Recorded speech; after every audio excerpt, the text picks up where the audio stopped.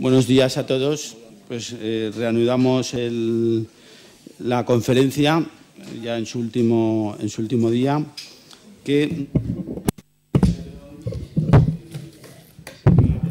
And today we are going to devote it to the case of the platforms of the interested parties in Spain and also very specifically in the Ebro Basin Authority.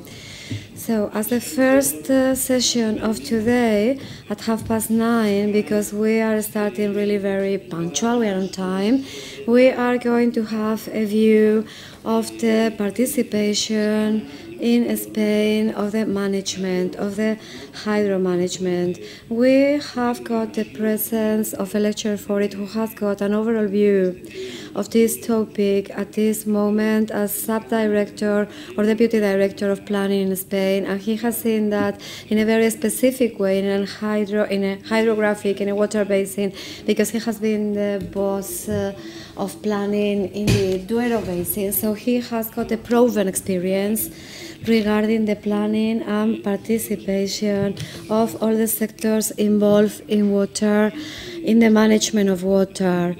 And this element of participation that we believe that it is essential.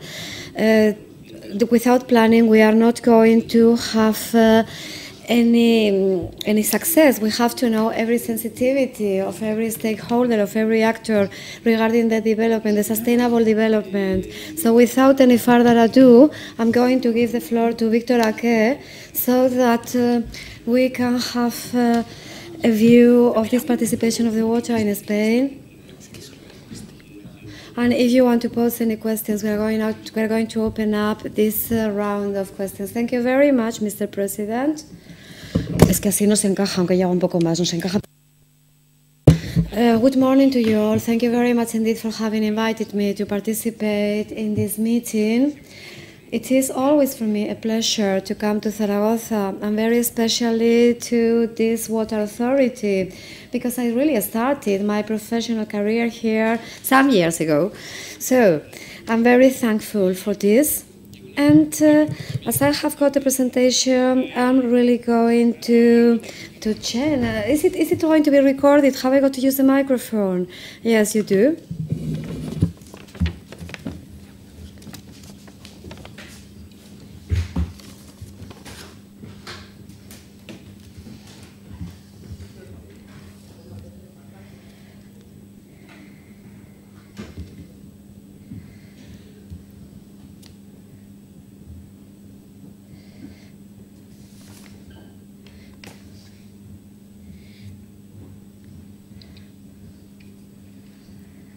Okay.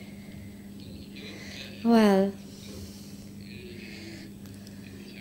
the development of the presentation I was going to do was going to comprehend those topics. So, first of all, I'm going to talk a little bit about the management and planning of water in Spain as a presentation of the issue. Secondly, I wanted to talk about the configuration of a water authority, as this one, for instance and the, part regulated participation, which is set out through certain bodies around which we have articulated the government, management, administration, planning through these water authorities, through these basin authorities, so the president, the board of governing, also the exploitation board, the users group. Uh, and the competent authorities. And then I would like to make reference to an upper consultancy body from the government, which is the National Council of Water, and they elaborate reports addressed to the government, and they have got this uh, upper character of this highest level, which are above this concept of this uh, basin body. And then I'm going to talk about another kind of public participation, more general, more open, which is the one accompanying the process of planning. And last but not least, I have got some conclusions which are not really conclusions as such because they are not derived from the things I'm telling, but they are a kind of final reflection for the participation which are really the fruit of things that I haven't really said, but at the end I wanted to highlight them really. Okay.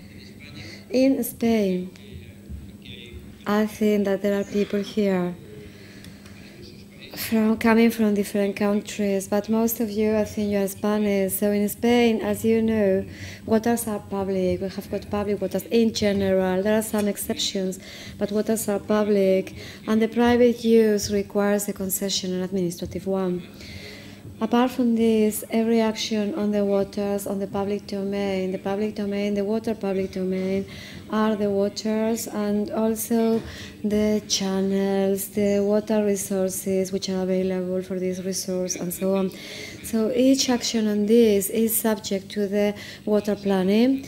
So this administration and planning is performed in basins and the language of this framework directive in water is the one of this uh, uh, hydrographic regions. We have got 25 of them. We have got 25 water regions, and uh, really, or catchment areas. In each of them, there is an authority of, of the basin, a basin authority, and in the case of the catchments, which comprehend the territory of more than one autonomous communities they have got the name of uh, water authorities. It is inherited from a structure which is almost 100 years old.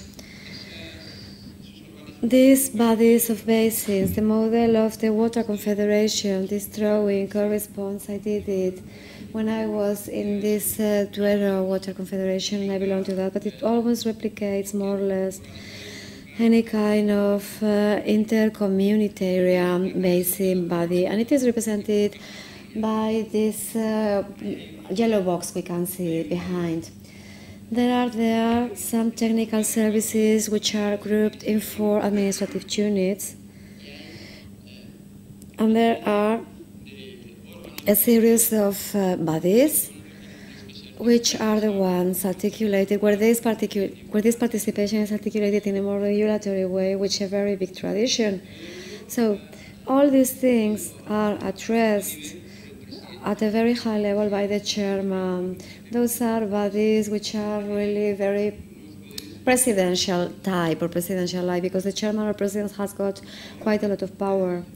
Right now we are going to see each of these bodies, which is the function, and how these things that we see up there, this is the general administration of the state, the local state, the autonomous communities, the users of different kinds, how they are organized, and how they become part of this uh, following uh, body. So I say, from the next presentations onwards, we are going to see each of these bodies First of all, the president and the governing board are really the governing bodies. The president traditionally did have the category of general directors. It's a very important level. Nowadays, it is not the case. They have got the category of subdirector and they were appointed by the government. It is forcing like this uh, in the water law. And right now, this lowering of level of the general direction to the rank of sub-director. What we also do with a bigger alignment or parallelism with the General Direction of Water and with the central administration.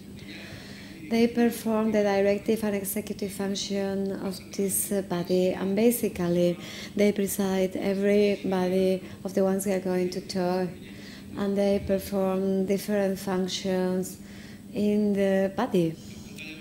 The governing board is the other governing organ, which is made up by representatives of the general administration of the states, of users, the administration of the autonomous communities, and the law forces of the provinces. The only thing that happens is that this participation of the provinces in the governing boards is not materialized yet, and I don't think it is in any case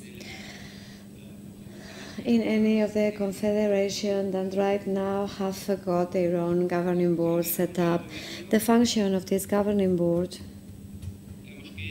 let's say that it is essentially to control the actions, the performance of the body through an action plan that the board analyzes and approves, and together with this, the budget too. The own budget and you you render account of them, you account for them, and it has to be approved for the next year. This is the main function of this governing board. And there are also other functions such as to propose uh, to the Water Council the review of the water plan and also other functions about the management of the public domain, which are very different, several of them. But uh, the main function is really to control the action of this body through an action plan and a strategic one, which is the one that has to be blessed by them. As uh, management bodies, I remark these exploitation boards and the users' uh, assemblies.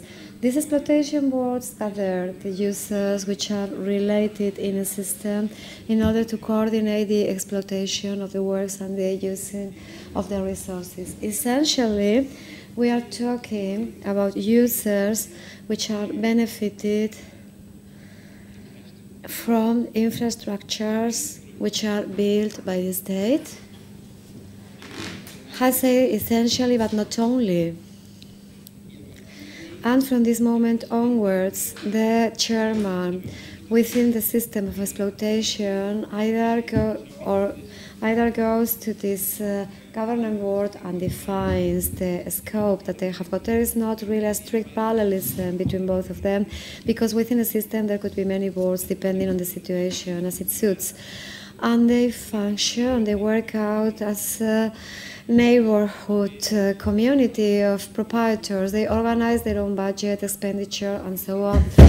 They are presided by the boards. It is the only case where the governor does not, uh, where the, the chairman does not direct them directly, and they integrate the users, understood as I have said before, essentially as users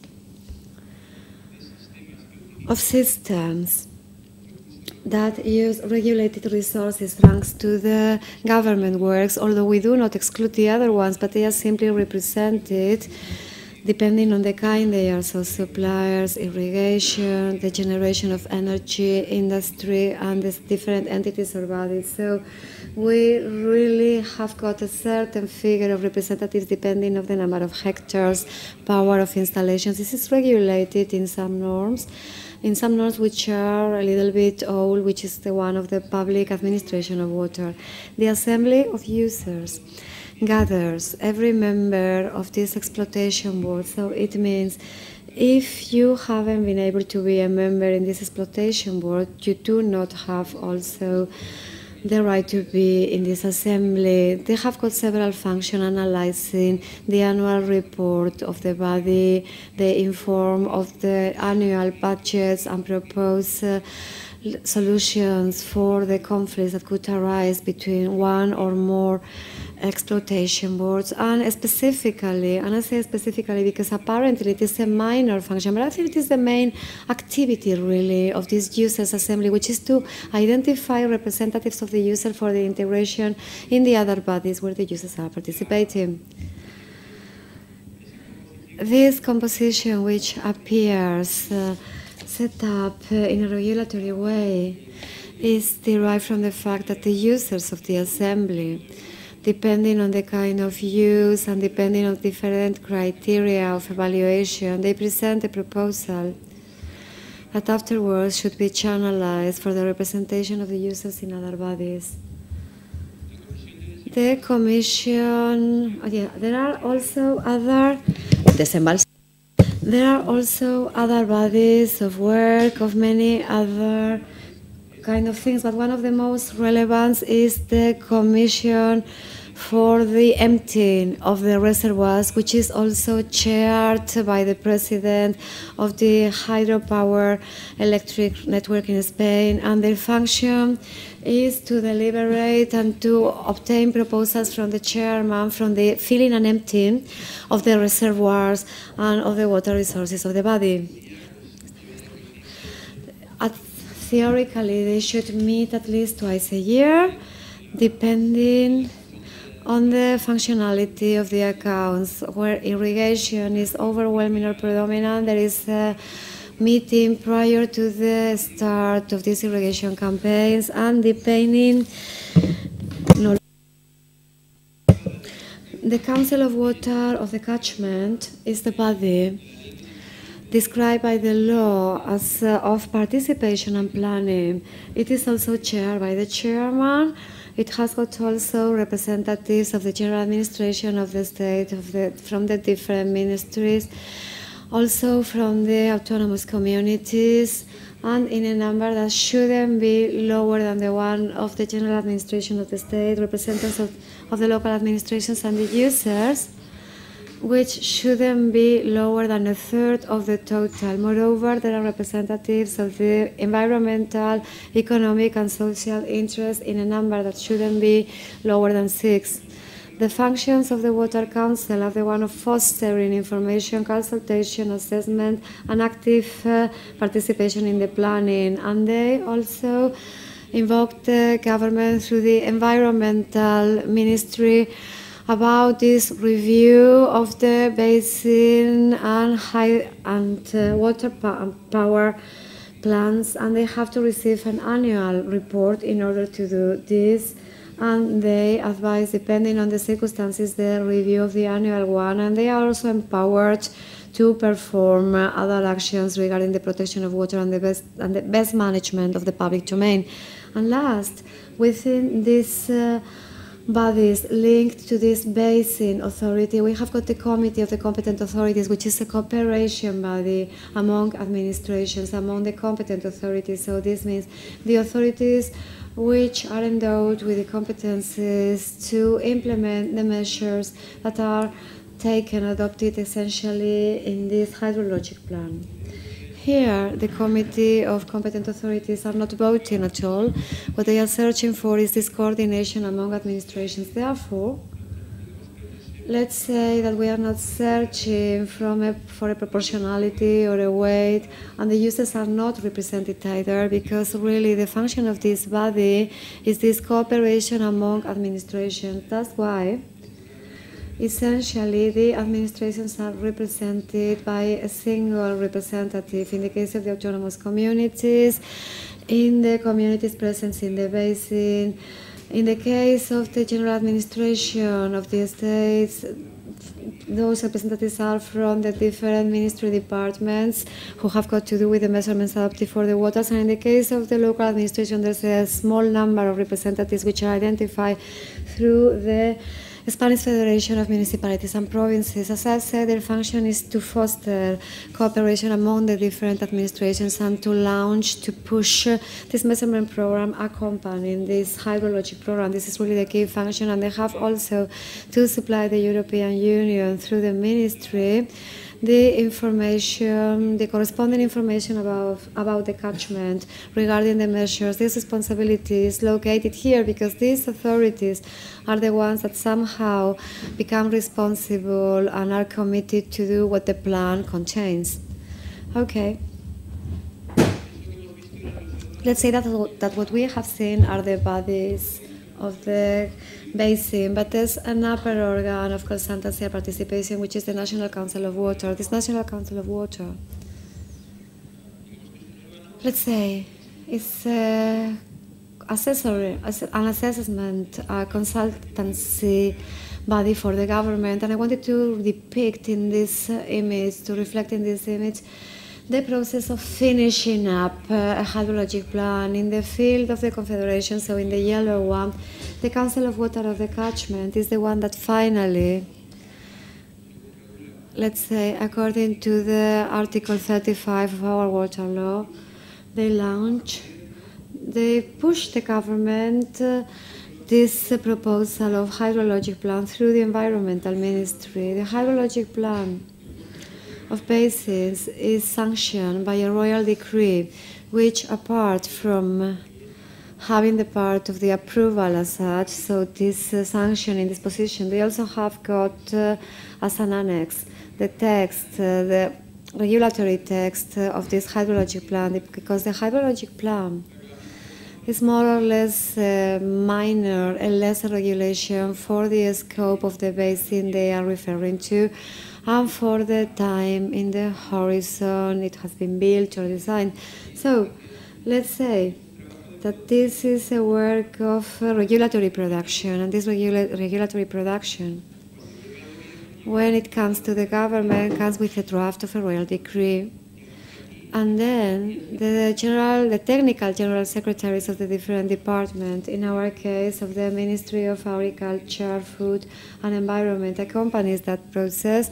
And in this process, they have to perform several consultancies and procedures which are regulated in the government law, in the organic law of the State Council, and the law of the functioning of the general administration of the state. And one of the consultancies which has been foreseen and is necessary is this upper one to the uh, general consultation to the general body of water. There are also consultations in the government and also other ones which are addressed to the government and to the states. How is made up this National Council of Water? The minister is the chairman according to the law, the environmental ministry, but really the ministry which has at the moment allocated the competencies regarding water. There are also representatives of general administration of the state, autonomous communities, local administrations, and the bodies. Uh, the bodies of the basin through their chairman and different members of the Council of Water in the catchment.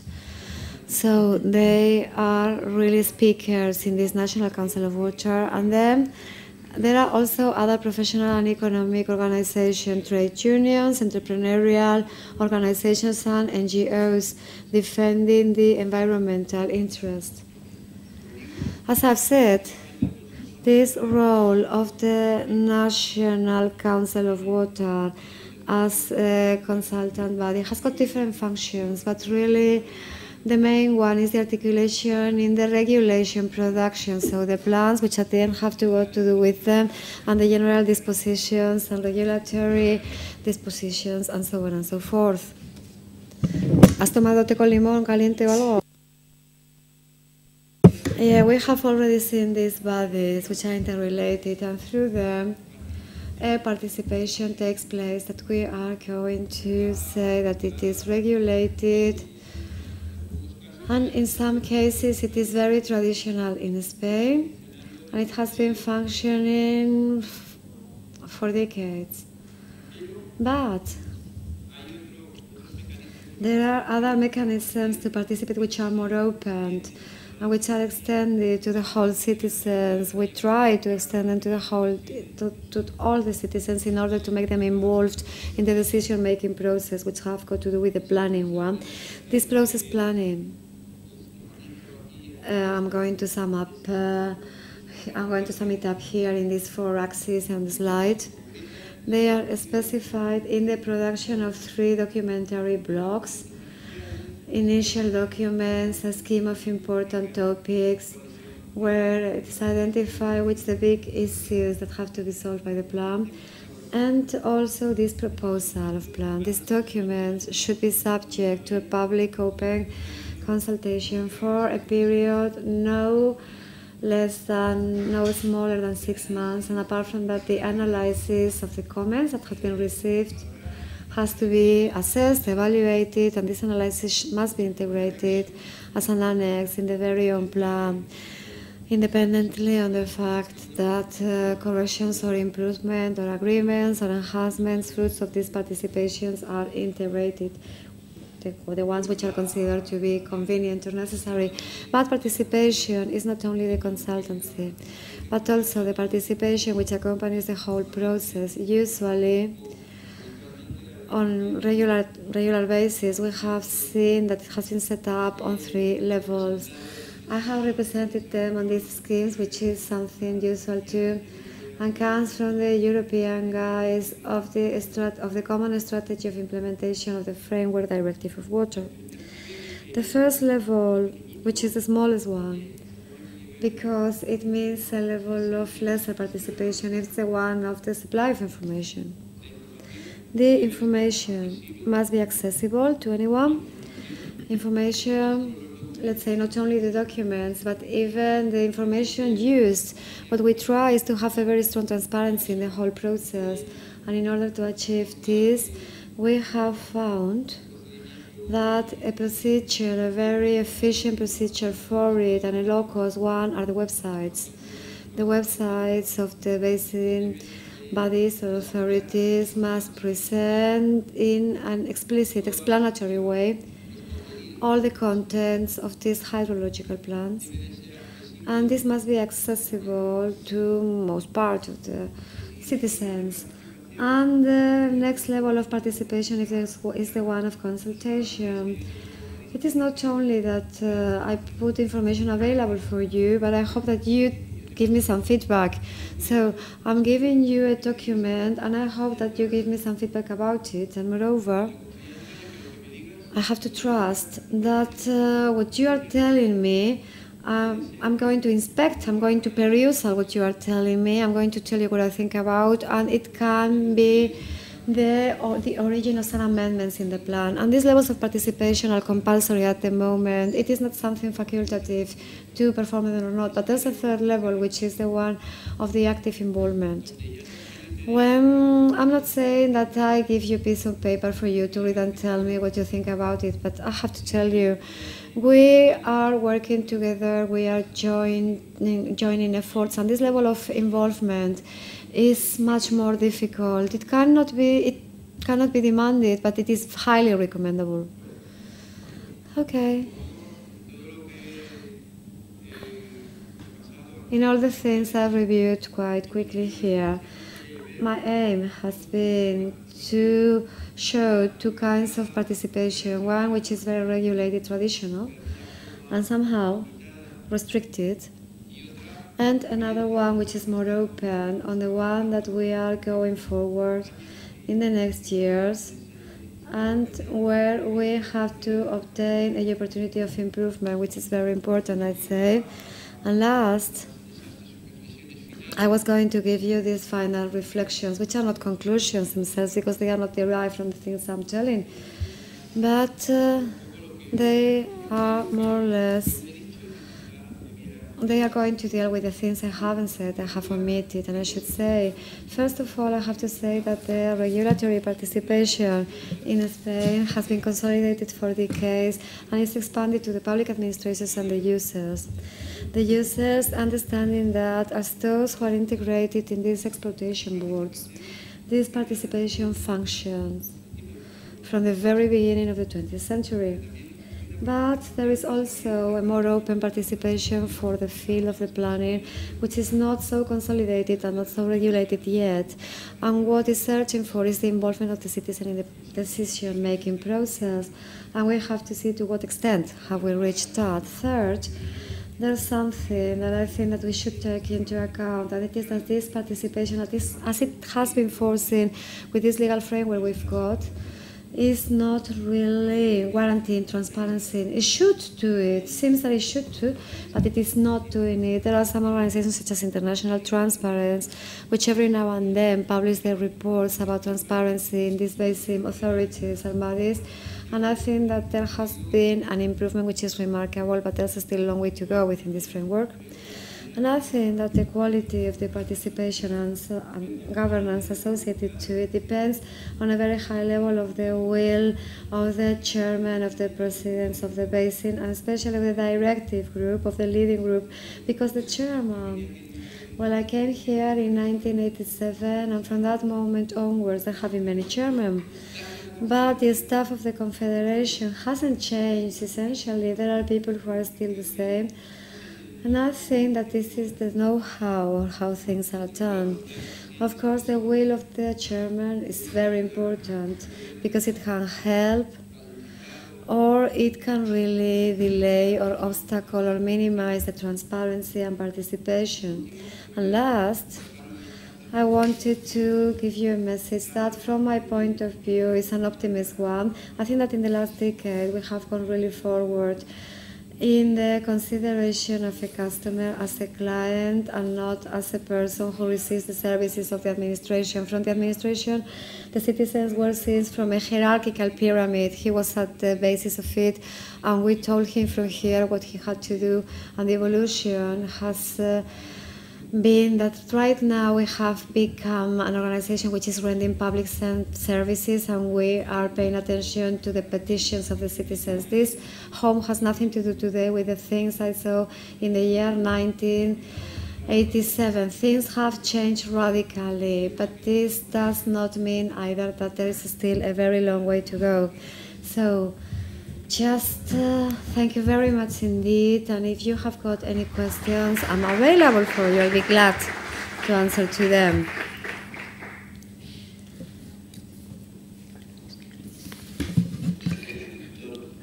Thank you very much indeed, Victor, for your expert for your presentation. Have you, you have got any questions or any remark or any petition of clarification?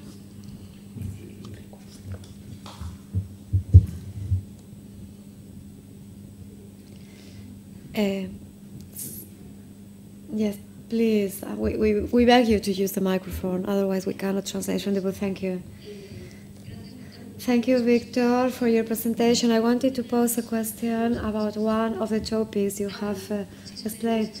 Oh, so Maria Teresa Santos is my name, General Secretary of uh, this Ebro River Basin Authority, and I wanted to ask you.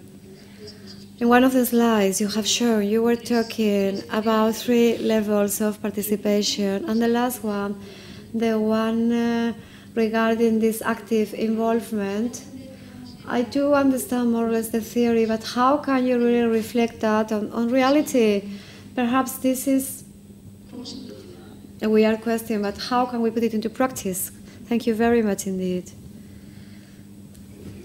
Okay, as I say, I think this is really the most difficult level. It is the most difficult level because it really demands a lot of time and it demands to meet a language with which you can understand the person who's talking to you because if we are working together and we are working on the hydrologic plan and uh, I put on the table the model and uh, I start with the environmental objectives and so on, we have got the danger, we are in risk that the person which, who is at the other part uh, says, okay, what is he telling telling me? Uh, he, I, I cannot understand anything and he's not perceiving my needs. What do we have to do with this active involvement? I'm not able to give any lessons, but what I can say is that what we have tried to do when I was at this uh, Duero Basin Authority and I was trying to search for solutions to some topics which could be conflictive ones. And it was where I especially searched for that uh, active involvement. Of course, the first thing is what I've said. We cannot improvise. I cannot suddenly say things are done and say, and say to someone, okay, let's gather and let's look for the solution for this. But this active involvement, what we did in this active involvement was to look for small groups of people which for a long time were knowing what we were doing and with whom uh, we were discussing. I didn't I didn't go there with the model on the table, but what I did was to give them the tables of what it was. For instance, we have got Clemente Prieto. So from the very beginning of the plan, I gave them the figures of these Uh, electrical power stations and then he told me you are wrong in the same figure in the same column of the last time so then we had got a certain trust and mutual understanding where we had an information which was really accurate and the irrigations professionals too. I didn't go to i didn't went to meet them with this graphic of the aqua tool but i just gave them the list of demands and then he told me well this demand is wrong. And there was an information system in internet when you entered into it and you saw the unit of agricultural demand the crops uh, resources. So there was a kind so at the end what people did with the figures really you wrap them in figures but at the end the result is what tells you okay it is colorful but it does not float. This is not where it should be and these are not the results we should have. So I think that this uh, repetition, these frequent meetings, this fact of seeing that we are not hiding any data, that this is what we have and these are the results of them, and we are working on this in this way, and have a look at the model and uh, keep it for yourself. I think, I think this is this active involvement, and I say this active involvement cannot really be just a meeting of 300 people or I've never been able to manage that. I've always preferred with few people.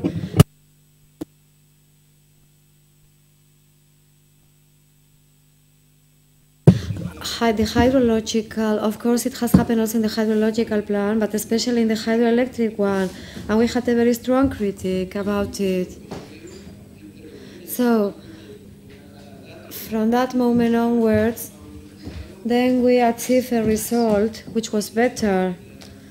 I don't say, I'm not saying that they were really happy about it or that we did it very well, but of course, it is much better what we had at the end than what we had at the very beginning, and this was due to this active involvement. And from my experience, as I said, the thing that functioned best were very small meetings with the same people for a long time. Because what you said before about the chairman, we have seen a lot, a lot, a lot of men and general directors and uh, sub-directors where I am. I thought uh, really the, the, the, average of, of someone in this position is two years and a half. But Clemente, I don't know how long he's been in Iberdrola. Always the same person. You really have got a strategy, don't you? Yeah, I don't know. Or for instance, the people of Profesa, they do have a very good strategy. We don't.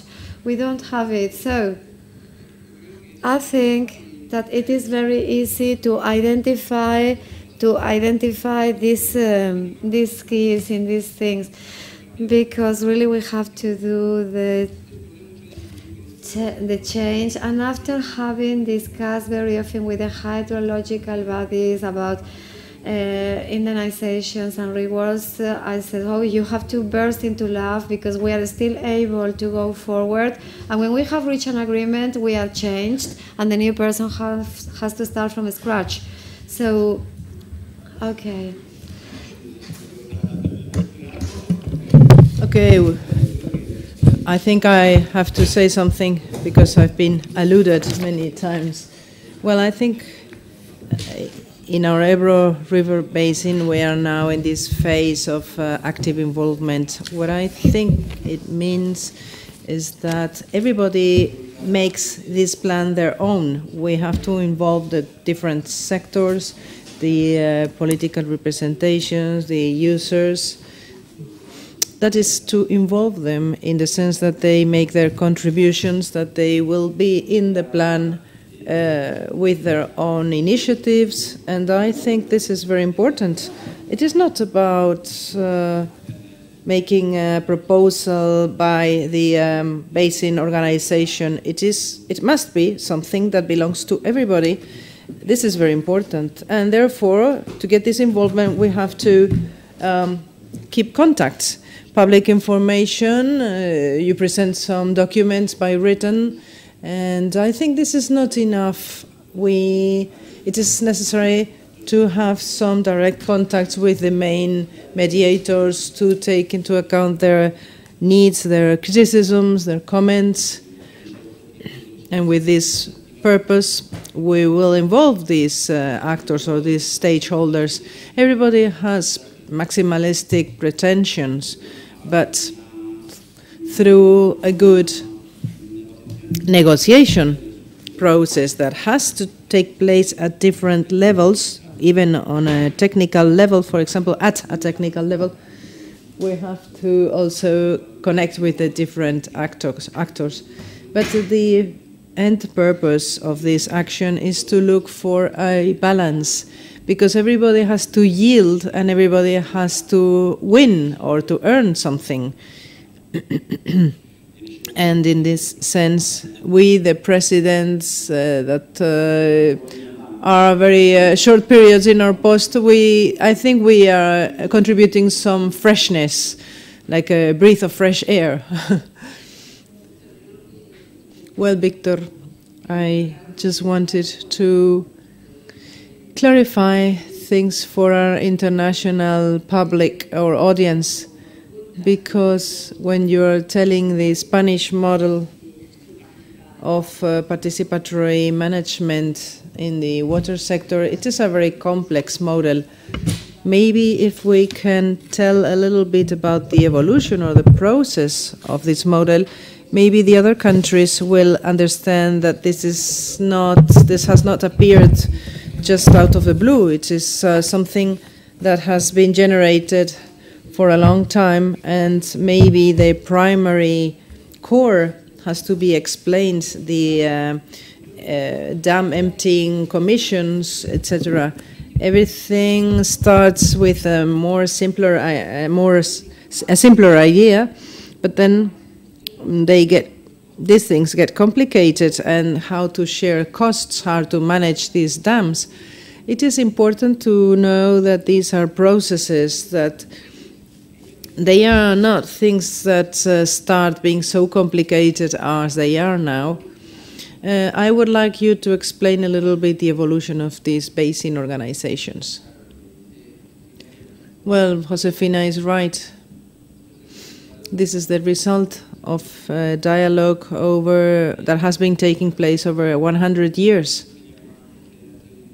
Although the name of this house is the Ebro River Water Authority, it has changed a lot throughout the, its history.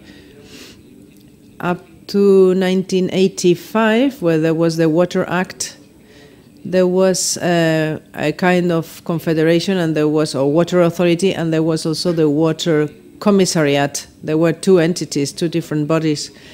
The protection the administration the concessions and the rights of uh, proprietary use and the quality of waters did not all these matters did not belong to the ebro river basin authority or water authority it was really an organization or a body to promote, to foster economy, really.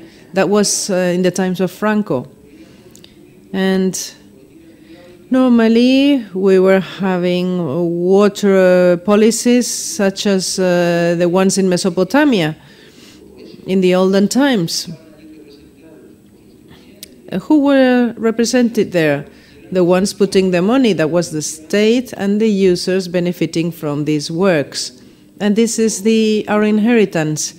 Afterwards, with the 1985 uh, Water Act, when the commissariats get together, although uh, plan planning in Spain is a very old one, we can even see some planning in the 19th century, uh, planning by basins, but it is also something that appears in the 1985 Water Act as well as water councils.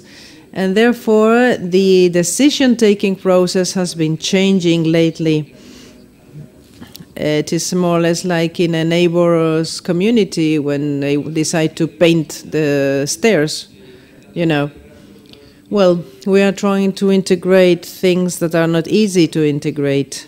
Sometimes the traditional users have felt themselves excluded or uh, not enoughly or sufficiently represented. And there are some conflicts in this sense. Society has been digesting all this.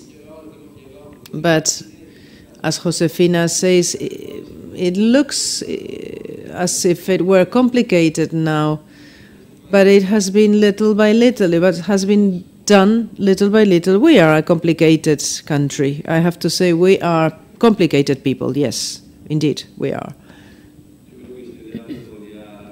I think this uh, debate could be taken for hours, could be prolonged for hours. But of course, uh, you have many models, uh, simpler ones, more complex ones. Uh, the more participation, the more the complexity, or the higher the complexity. Of course, well, in any case, we have to stop now. Oh no, Josefina is telling me something. Ah, th- there is one question. Okay, I'm Eva Garcia, responsible of the environmental resources of Navarra. And I want to thank you for your words about participation. We have some experiences that I will have the chance to explain later on this morning. But socially, we are complex and we have to try to involve society. We have experiences that have been working well, small groups normally, but the important thing is how to give a continuity to all this. We are in a moment of planning where cooperation is, is there in the um, active attitude, but we have to keep this attitude and we have to give it a continuity. This is our challenge. Thank you very much. Yes, it's true. You are right. If there are more questions, I don't want to stop.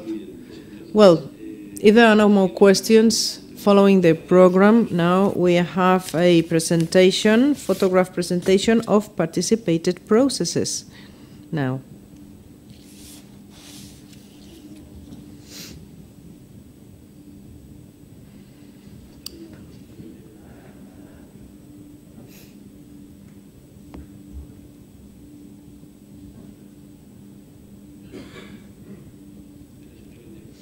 These are simply photographs of the um, illustrating the participatory process.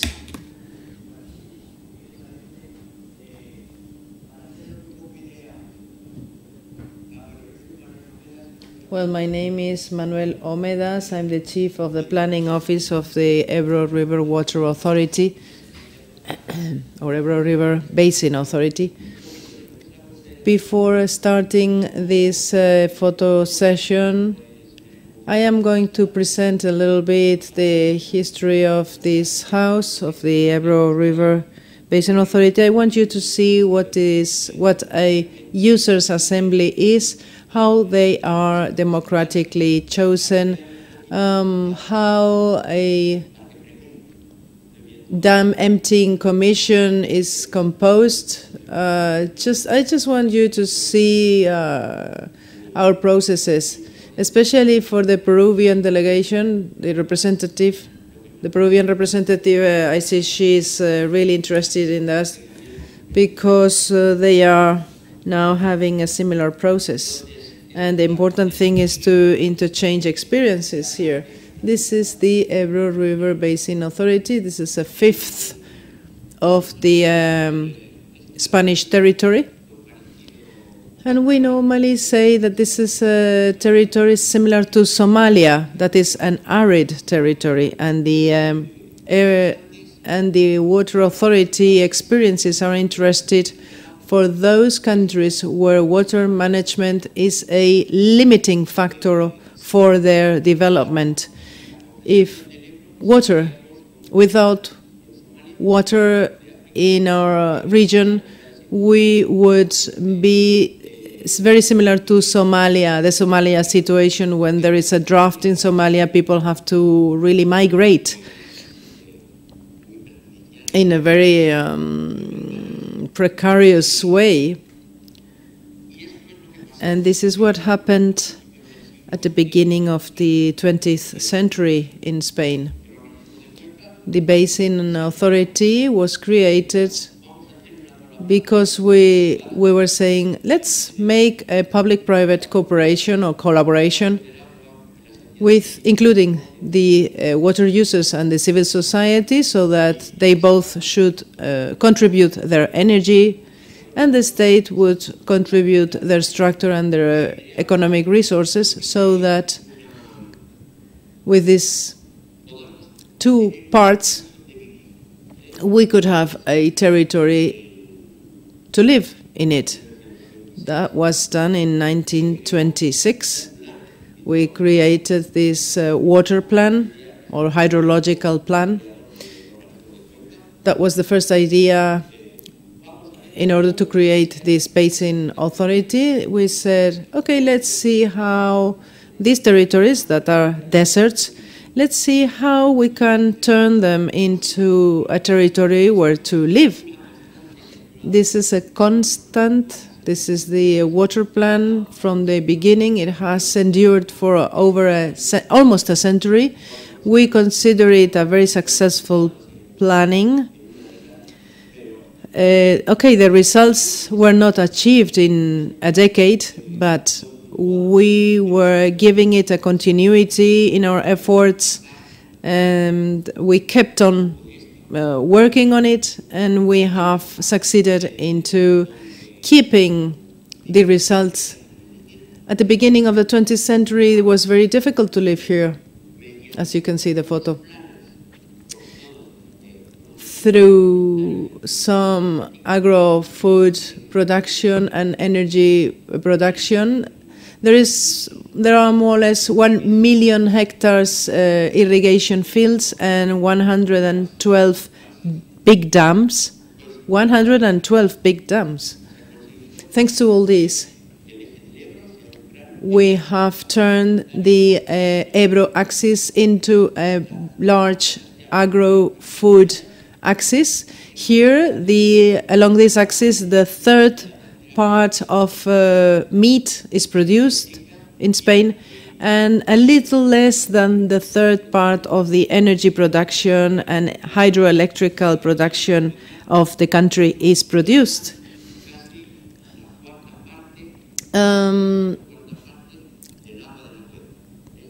in this, we invest almost a fourth of the water existing in the basin. For the basin uh, management, we consider the basin management a success because this uh, management by basins is being imposed on a worldwide level. And we think that this um, basin authority is a way for many countries to focus on development and to look for the cooperation or the collaboration uh, in water management in the development through a basin authority. We think the basin authority is an essential tool uh, to have a technical, a highly technical, decentralized and participatory management, and above all, a, an efficient management.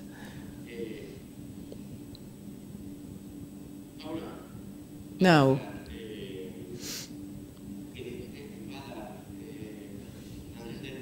now Andres de Lucas is going to give you a little vision uh, by photographs of the Basin Authority and what we do here. And later on, I am going to uh, describe the participatory bodies of the Water Authority. Thank you, Manuel. Well, good morning. I will uh, say uh, that the uh, case, in the case of the Ebro River Basin Authority, this authority is very, very active. I think it's the most active in Spain. Uh, it started in 1926, and in 1985, with the new Water Act, we changed our goals. We were looking forward to improving the uh, quality of water or the quality, the water quality, and to satisfy the demands or to meet the demands. As for the water quality, the goal of the plan in collaboration of the water quality unit of this uh, Ebro River Basin Authority, we were looking at the rivers in the uh, higher and medium areas could have a good physical chemical state. In the um, the lower parts that is uh, downstream it is more difficult to achieve this because they have many purposes agricultural purposes so the physical chemical quality of water is more difficult downstream. Well there's there is a laboratory. You can see it in the photograph. We have this excellent laboratory and we um, analyze the physicochemical uh, state of the waters and the fish that uh, are there. Along these 65,000 uh, square meters of uh, the whole basin, uh, we have uh, a lot of control gauges, meteorological stations, uh, piezometers, stations in order to measure the level of underground water and with uh, gauging stations in rivers, canals, and tributaries. There are over 1,000 points in order to detect all the changes. All these measurements are compiled in a database which is integrated through a system called SAI, S-A-I, uh, via, via radio communications that picks up or collects all this data and sends this data to the process center. Uh, we will visit this center afterwards um, when we finish this conference. Once the data are in the process center of this basin authority, we manage the data, we process them, and we help the decision-taking process because as we uh, make hydrometeorological models and hydraulic models, we can optimize the resources and we can avoid the very expensive and costly floods that we have been suffering in this basin. But there is a lot of work on the part of the commissariat, which is one of the legs of the uh, Basin Authority, which is the accumulation of data of the different reports. There is an integration of data, or a data integration, where we find all the files, including the uh, concessions, the arid uh, exploitations. Um, you can see all this in the web page or the website. So we are also complying with the transparency requirements and here we can consult the files, whether they are expropriation uh, files or whether they are following administrative uh, processes and which ones, etc. Uh, the uh, Water Commissariat is in charge of controlling the resources, the water resources, and uh, it looks forward to keeping the uh, water bodies levels in a good physicochemical state. Uh, the Water Commissariat uh, takes on projects and big construction works such as dams, big dams, etc. The uh, technical management is uh, responsible for 55 big dams over 1 million cubic meters and 350,000 hectares. Well, the uh, other leg of the authority is the hydrological or the water um, planning office, as Victor has said. Manuel Omedas. Oh. Victor Arqued has uh, been commenting very clearly on the uh, collegiated uh, or registered bodies. We have uh, one leg, as I was saying before.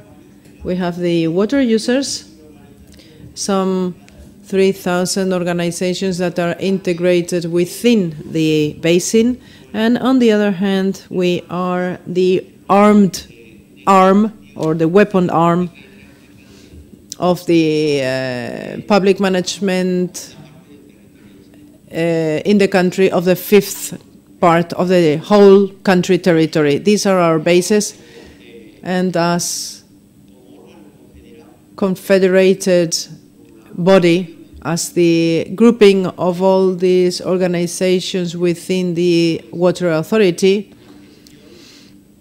or the Confederation if you want, but it's, normally it is translated as Water Authority. We are at the service of these organizations. These organizations have their activities, they are uh, public right corporations. They are independent, but within our basin authority, they gather together due to the benefit that they can obtain. That this benefit consists of, on the one hand, the fact that they manage water we as technicians help them. We facilitate to them the uh, dam management or the canal management, and in interchange, they um, give us some canons and some, uh, not canons really, bonuses or some taxes, some levies that we um, receive. Well, so that you can see that this is not only a body for decision making, but also a body for the uh, budget uh, distribution. This is the assembly of users.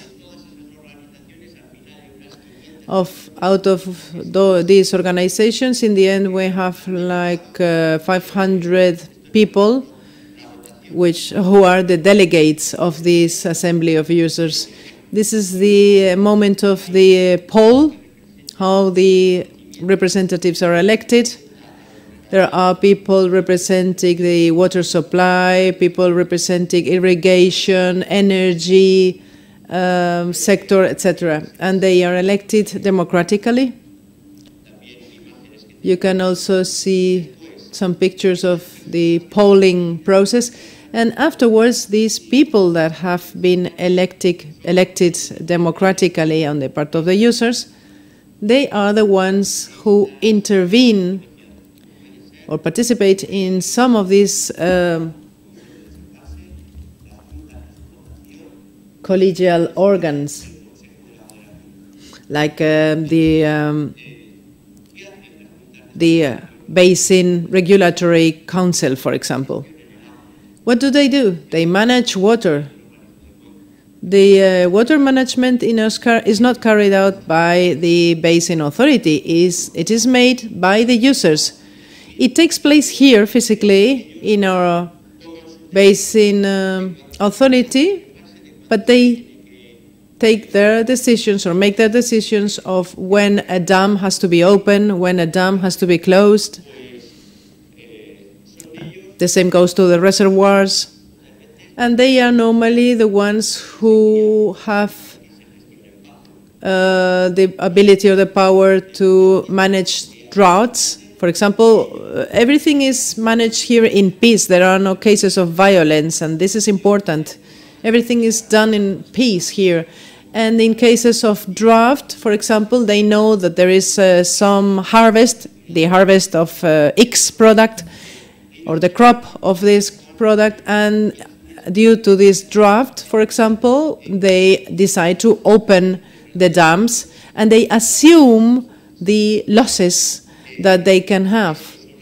They want to save some crops, they open the dams, but of course there are costs derived from all this. And the, they are the ones who take these charges on them, who carry out the risk of the charges, let's say.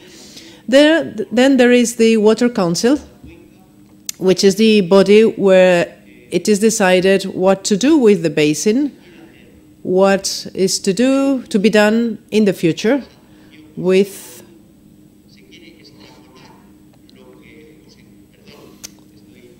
well uh, they are telling me that uh, I have only one minute left and I'm getting nervous and I'm not really being able to formulate my sentences really. Well, uh, what I wanted to say is that in the Water Council, it is where we plan and we uh, decide what we want the basin to be in the future. In this sense, there is a participation not only by the users, but the participation and the power in the Water Council is approximately like this, as follows. A third of the decision-making power is by the regulatory bodies of the country, that is the autonomous communities of the country. Another third is by the water users, and another third is by the state, the social or organizations or the ecologists uh, organizations or the economic or social organizations. This is a picture, an image of how we vote. We do things democratically by raising the hands, and we take the decisions democratically. The same weight goes from a councillor of an autonomous community or an irrigator who is sitting beside him or, or on a representative of an ecological organization. This is the type of representation that we have regardless of the informal management that was mentioned by Victor Arqued before, I think that this is the management type that the Latin American countries should uh, choose, should opt for because this is a democratic uh, management, a very regulated management. Everybody knows the power that they have, and everybody knows who is who he or she is representing. For example, one irrigator can represent here 25,000 families or 30,000 families. And these families are represented in this person, and this person decides because he has the regulated representation the decision-making process is not uh, does not please to everyone or to everybody, but it is according to the representation power that everybody has. We have made an informal participation that has been enormously um, complex. We have uh, walked around the 13,000 uh, square kilometers of the river basin, and we have given voice to the ones that do not did not have a voice. Everybody has made an opinion, has expressed their opinion on how to take decisions or to make decisions for the whole basin. These are photographs of some meetings, and this is the government assembly. This is where the budget is decided, and this is where we take the or we make the decisions. Is this this room in a different um, arrangement? And this is where we uh, make the budget management of this body. And that's all. Thank you for your attention.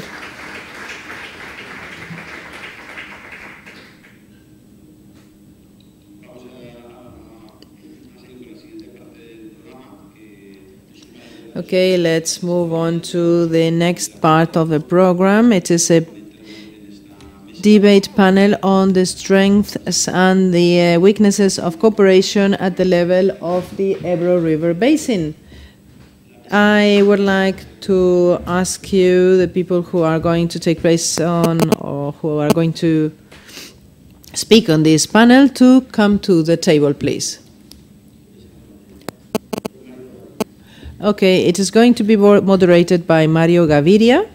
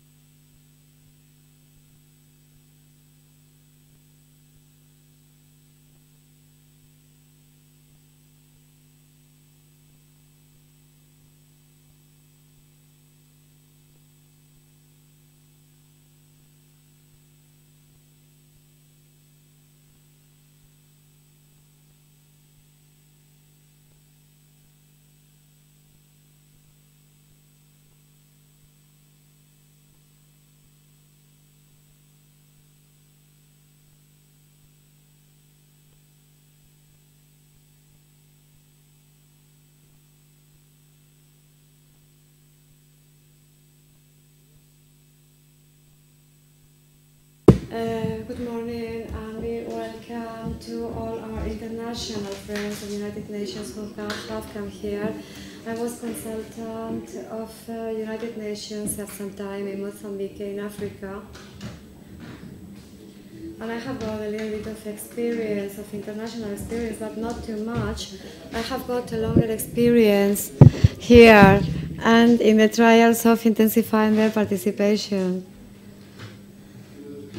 I want to tell you that this home that has been, uh, whose who- Manuel Omedas has made a summary of the things we do here, and the members of the organization has got an experience of almost 100 years for certain things. Uh, we have proven and shown a very high efficiency and efficacy. The panel we are going to start right now gathers four or five experts. And what I'm going to ask them is that instead, we are going to have one hour and a half, more or less. So instead of uh, instead of uh, uh, giving their presentation, should be prepared more or less. I would ask them to talk about the participation from the sector they are working on. Some of them are the Greek people with the, with the food, some of them are working in the hydropower, electricity, and so on. And they would only deal with two aspects. Two aspects of the things that you believe that are convenient for the participation here, and two aspects of the things that are going wrong because otherwise we're always telling you that we are perfect and the things that are going wrong are never said. So I would tell you that you should be able to make an effort and to say these two things, the participation does work, and in these two things perhaps mm, it does not work so well. I want to tell you that Spain is a very difficult country, very difficult to understand. It is very complex. It's an old country, and at the same time, it's a very new one. And we have got to some events that are not so well known. And right now, with the crisis, we are playing a very strange role. But I want to remind you that crises are really a remedy of the system to purify it and are necessary. And the crisis we've got in Spain is badly diagnosed and is also diagnosed as part of the European crisis.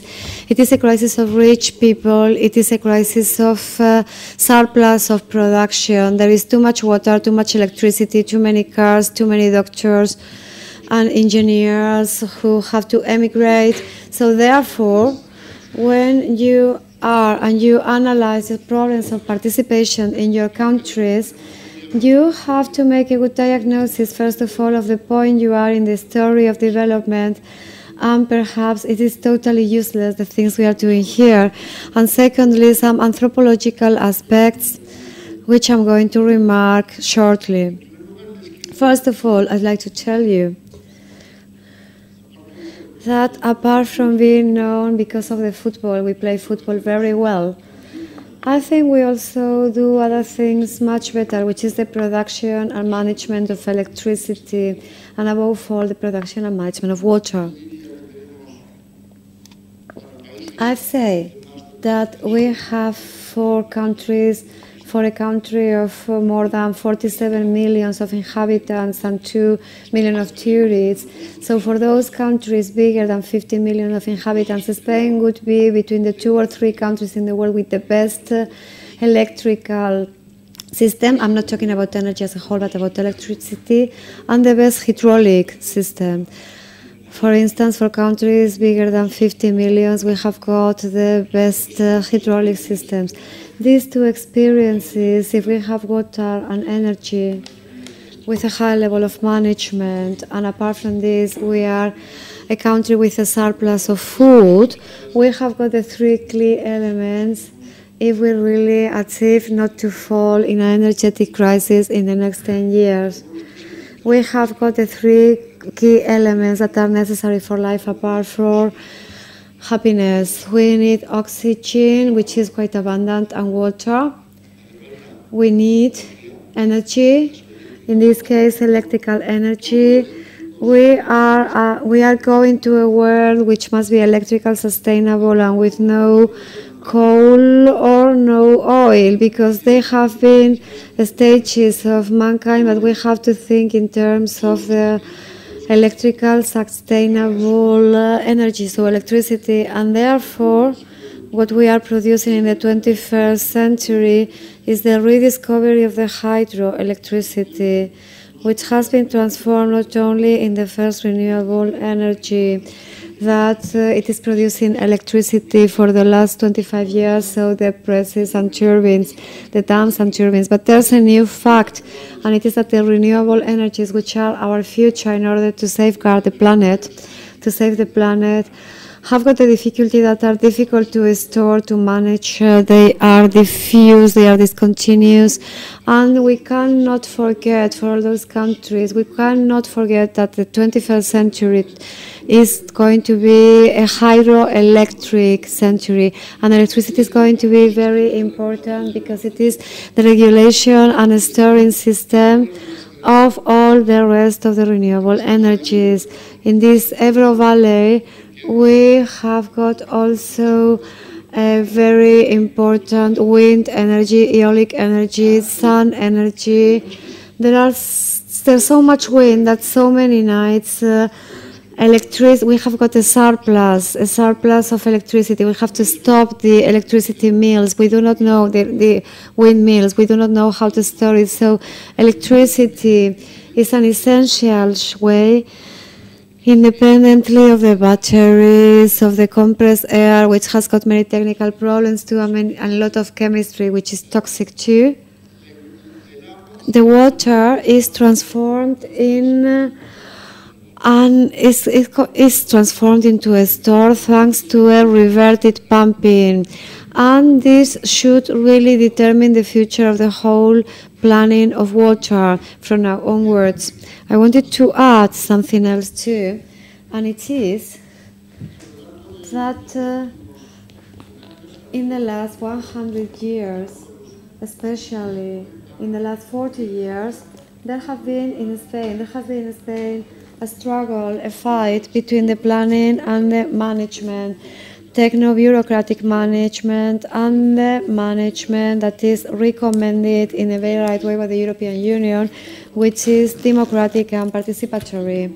The management, this participatory uh, management of the whole plan, reflects uh, the spirit that has been introduced in Europe in a very positive way, the Scandinavian countries, in the sense that the decisions must be democratic and participated, which is in conflict with the other orientation that we had in the uh, management of water in Spain, which was, uh, which were the users uh, supervised and overviewed and addressed by the government, who were the ones taking the decisions, making the decisions. The problem is that it wasn't very clear who was in charge of the ecosystems.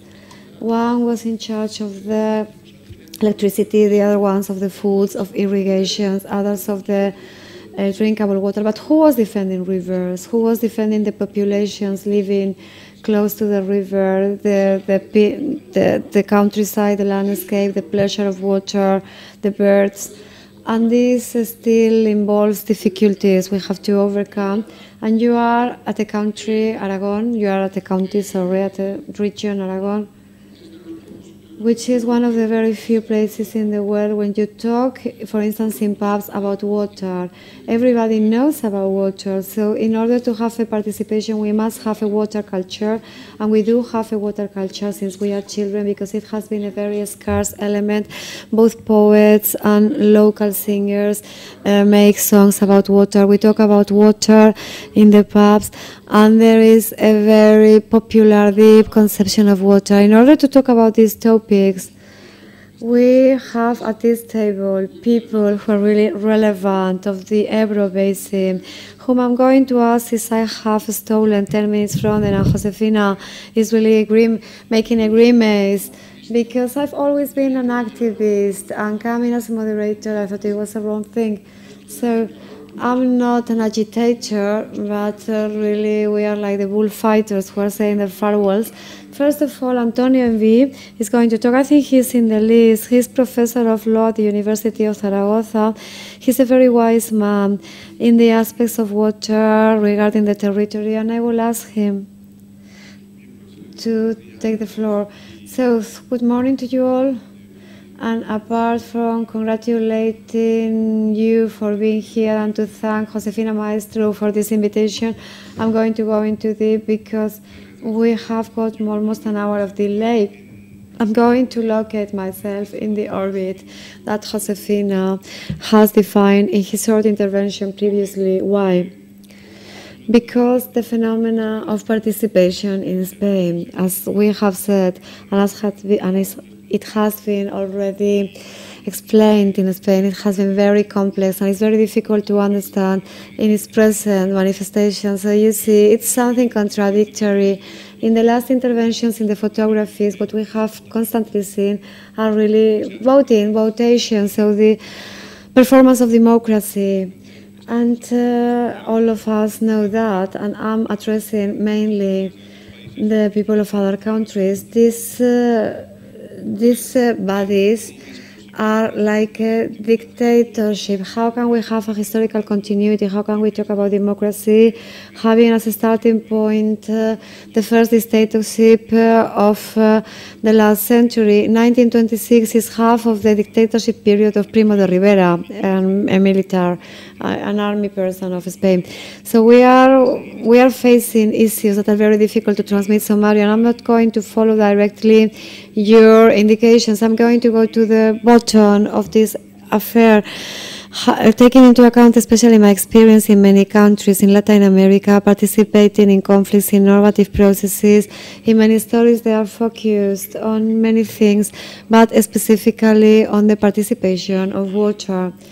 And the small message I would like to transmit is to try from the orbit of the Spanish law, which is obviously a law with more uh, positive than negative aspects to say some things that can be useful here. We have been talking about participations of users and citizens. The first one, the first uh, thing that concerns a lawyer or a lawmaker who wants to sell to the practice as it is myself, who's the user? An issue which is not so easy to define, especially when we are going to the different uh, uh, fields. A user is technically the one who has got the right to the private use of water. So this is a legal um, entitlement coming from a concession, maybe from a historical title. Sometimes uh, there are still people who are using water still. Uh, because of the mercy given or favors given by medieval kings and queens, and this has been reflected in the register. Uh, so there is an indispensable condition for a real participation. We have to know what we are talking about when we are talking about users and which are the contents of the rights, something which is not, not easy at all to establish. We are still in the hydrographic confederations as living on specific programs for the specific restriction of the registrations, the depuration of the registrations, we cannot set up uh, a system of participation based on those uh, people who, on those people who are holding certain legal rights. Thinking on the countries I have already thought, if these uh, legal entitlements are not registered in a public registrations, are not useful, and they should be confrontation proof. And if this does not exist, the participation that we can deal with them uh, has got problems in the root. We are talking about participations of the users and citizens. A citizen as a concept, which is something very general. The citizen is the person who has got their own civil and political rights. Talking really that we are talking about democracy, but if it is not like this, uh, everything is too much and the concept is too much. So participation of citizens apparently makes reference to an individual one. Sometimes when we mix the word uh, citizens and users, we find that we can have in the category of the users public administrators, and within the category of it, uh, this is a certain contradiction because the public administration can also be a user of water. And within the citizens, we can find entrepreneur, economic, social organizations too. So this demands too a very clear definition. But in both cases, the experience of the Spanish law, we are talking about organized users Organization is something fundamental and essential, and this is something that arises from other levels different to the ones which are strictly administrative regarding water. The organizations of users in Spain, when does it start? I don't know. And I don't think that anybody can really answer in a very accurate way to this question. If uh, uh, talking about this Ebro Basin, if we trace back to the oldest documents, we find some features of organizations, of users, in some bronze documents of more, which are older than 2,500 years. So what it has happened really in the field of the users is something that is functioning or working out uh, apart from the administration, which has got a very ancient tradition and has been shaped up as time has gone by and coming to a certain moment which is traditional and old, it is inserted in something which is much more old-fashioned.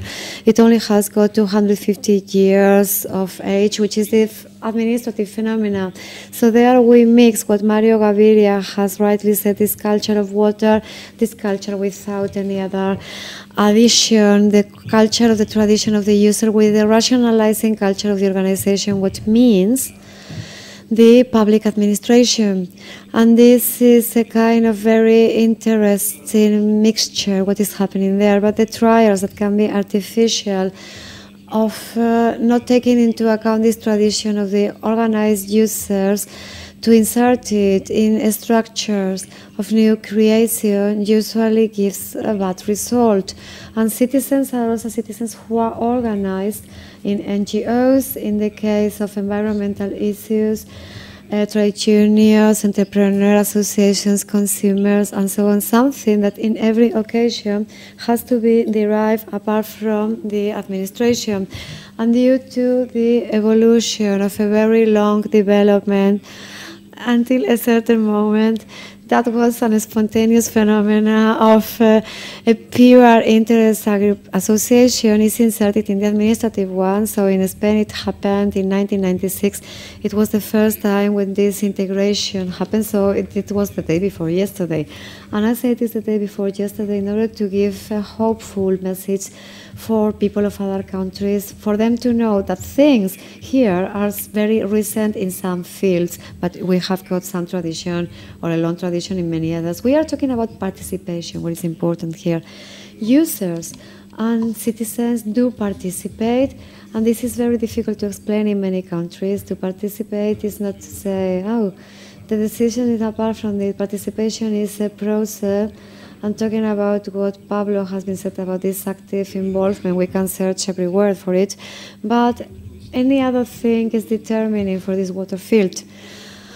And the decision is decided by somebody else uh, different to the users due to a problem of democratic legitimation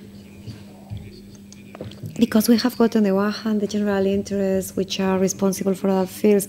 Participation is useful for the decision, decision adjusted that has to be aligned with the participatory elements of what the users and the citizens have been really configuring through the specific process. But the decision is somewhere else, and it is ultimately in the field, in the hands of the political power.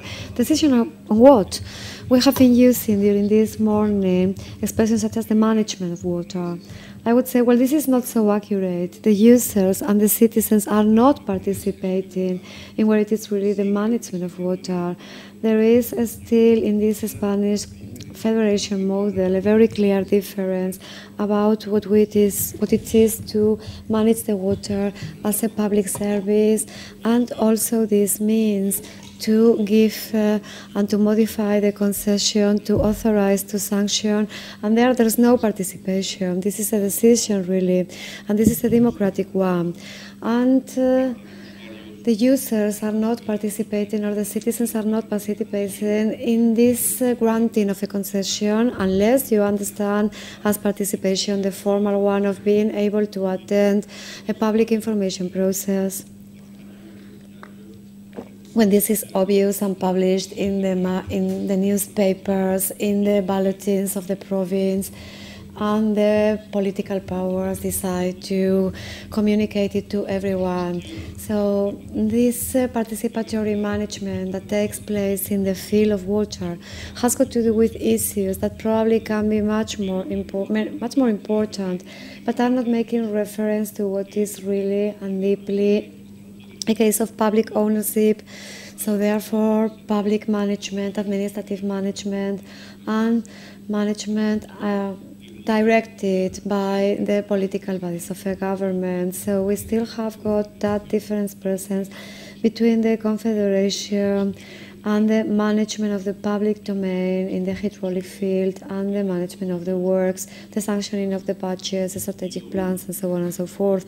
And last, what I was still hiding in this first conceptual intervention I'm presenting, I wanted to make it very short and in order to focus on concepts which are really indispensable so that uh, we can say that we are talking about this or about something very different. Participation is expressed really in these uh, basin authorities. And in this one of this uh, Ebro water which is called right now the one of the catchment and it was called before it used to be called as the one of the basin and it is compiled now as the catchment. So the amendments of the management of water which are directly derived from the rights uh, sanctioned by the European Union. So what does this Council of Water do regarding the planning? They elaborate it in a very formal way. They do not elaborate it in the Council. So the administrative bodies elaborate then the Office of Planning. The Council finally is going to approve it because they have participated in the former documents prior to the elaboration of the important topics. They have been able to monitor and to follow up the administrative work and they are going to give the approval and this is not the definite one, we must pay attention to this, because this will be in the hands of the public power. So the government of the nation, as it couldn't be otherwise, and this makes reference to the differences I've told you about what is participation and what is to decide. They decide, they plan this uh, hydrologic. Uh, planning. Um, so the government does that, and what it is really, because this is an issue which is really dividing clearly this Spanish model compared to the ones of other countries. We have got a very long history of planning, but the present plans the ones that we are working right now in the field of the Council of Water in this Ebro catchment has absolutely nothing to do with the traditional ones. With the first plan of hydraulic works, who stated in 1902. So we are talking about more than 100 years. So there wasn't any kind of ordering among themselves, and it has nothing to do with one of hydraulic works with the, with the decree of 1926, which said that it was the first function of this of this water confederation. So there must be a mixture between management, factual management, legal order, decisions which are which have to be specific, and finally protection, making the most of it, use it.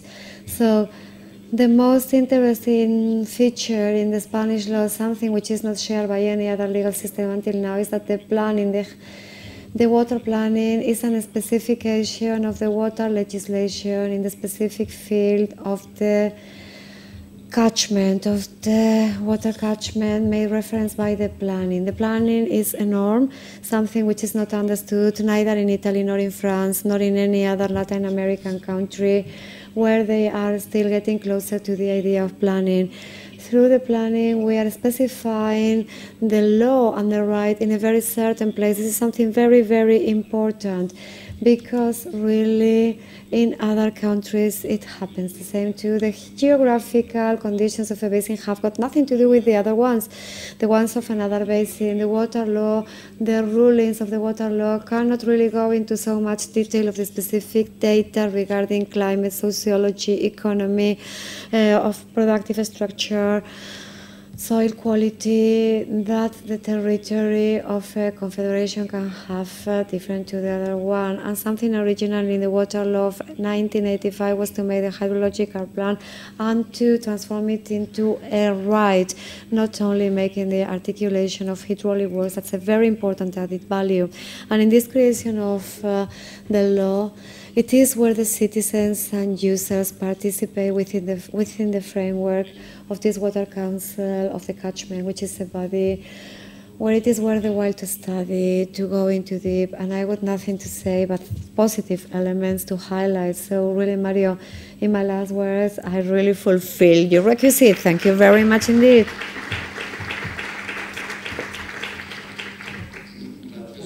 Thank you very much, Antonio Embid for this excellent and crystal clear presentation and also adjusting yourself to time. So that has allowed us to complete all these approaches.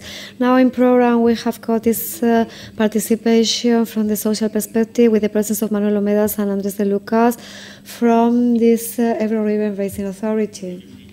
Okay, in my case, following the indications of our moderator, You've said that we should mention two positive aspects and two negative ones, and I think that the positive aspects have already been highlighted,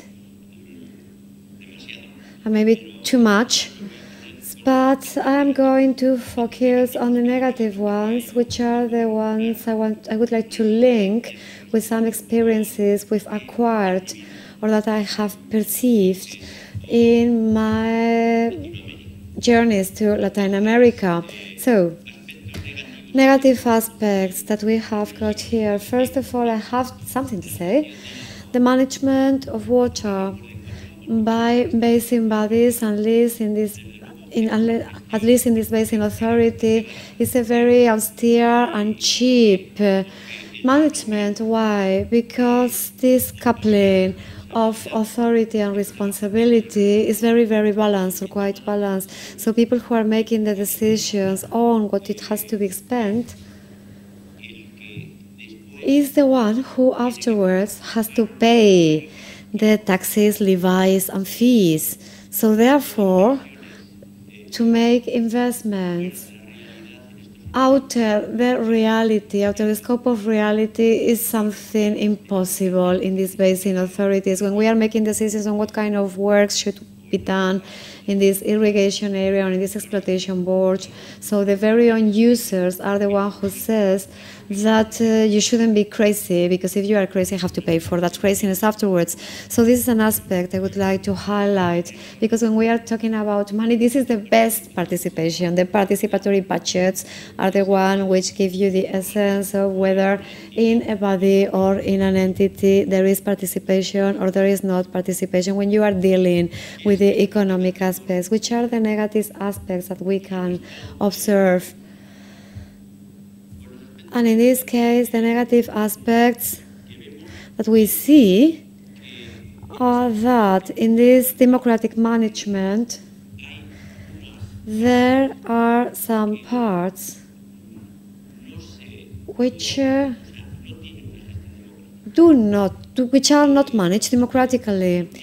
The professor Embid before, and Mario Gaviria too, they have made a comment saying that on the one hand we have got this generation of wealth through water, but there's another aspect which is how how can we protect this water environment, these water resources. So, in the protection of these water resources, there are some social bodies. There are also ecological organizations which uh, are basically the speaking partners of this uh, preservation of the environmental values that must be sustained by this water management and especially in European countries is getting more and more demanded. The generation and the achievement of a good ecological status. You have to do it either through basin or do whatever you have to in each basin and uh, but we afterwards we are going to examine you. We are going to test you due to the results you have acquired. In this sense you say participation. How do we say that some organizations are the ones representing the environmental interests? There is a lack of uh, de democratic management on the part of uh, these environmentalist organizations. I think that that was what we wanted to do first with the uh, recreational organizations. That is, that they should democratically look for their representatives so that when they come here to participate in the Basin Council, they say, well, how am I representing here? Well, I represent the uh, citizenship, the part of the citizenship that is being supporting me. This is important because I see in some countries where I had the chance to visit, that I, that I had the chance to visit, they are um, really making this participation that is leading us to this uh, assembly management. And this type of management, the assembly management, is really bad for water management. Everybody has to know who he or she is representing and for which purpose. So this European regulation really is uh, presenting this problem. Nobody knows who is who in the representativity or the representation.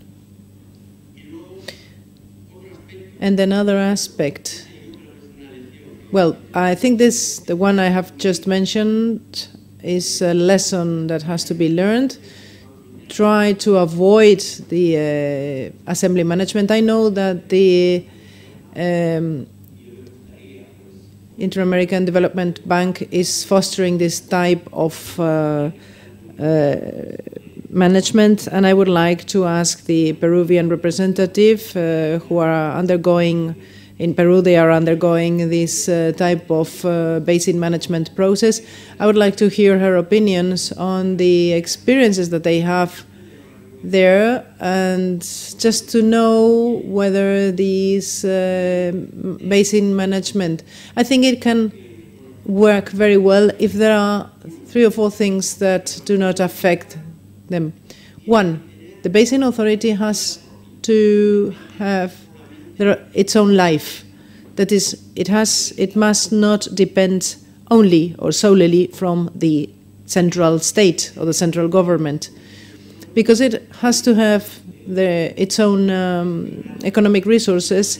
It has to be able to be managed in such a way that the central state helps to manage water, but it should not be a rigidity element or a, an inflexible element that could limit the uh, management of the basin authority.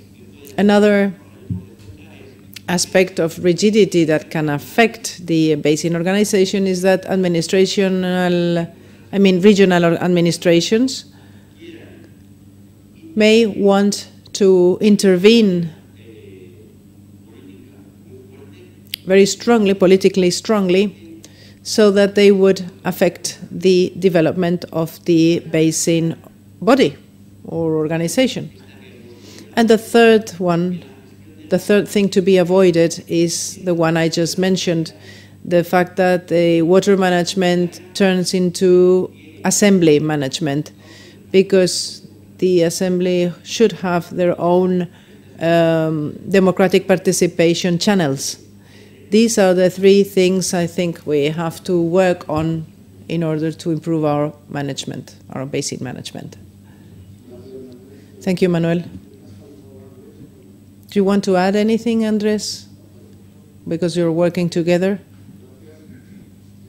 Very well. Now the floor goes to Clemente Prieto from Iberdrola,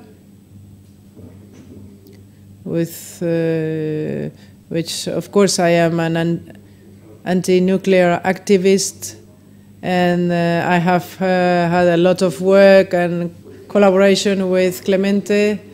Um, uh, in the end, I was affected. We were affected by some uh, of the nuclear plants, and well, I had much to do, a lot of to do with Iberdrola. Now, Iberdrola is one of the biggest or the largest electrical companies of the planet, of which we have to learn a lot, in spite of the fact that in the beginning we were enemies. I have to say that this is the first electrical company of the world.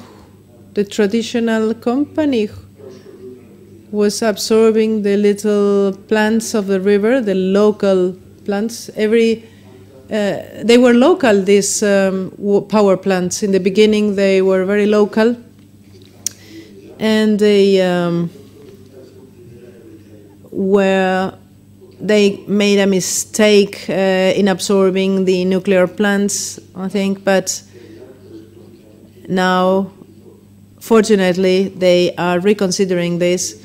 And now it has turned, Iberdrola has turned into the first wind um, energy company of the world.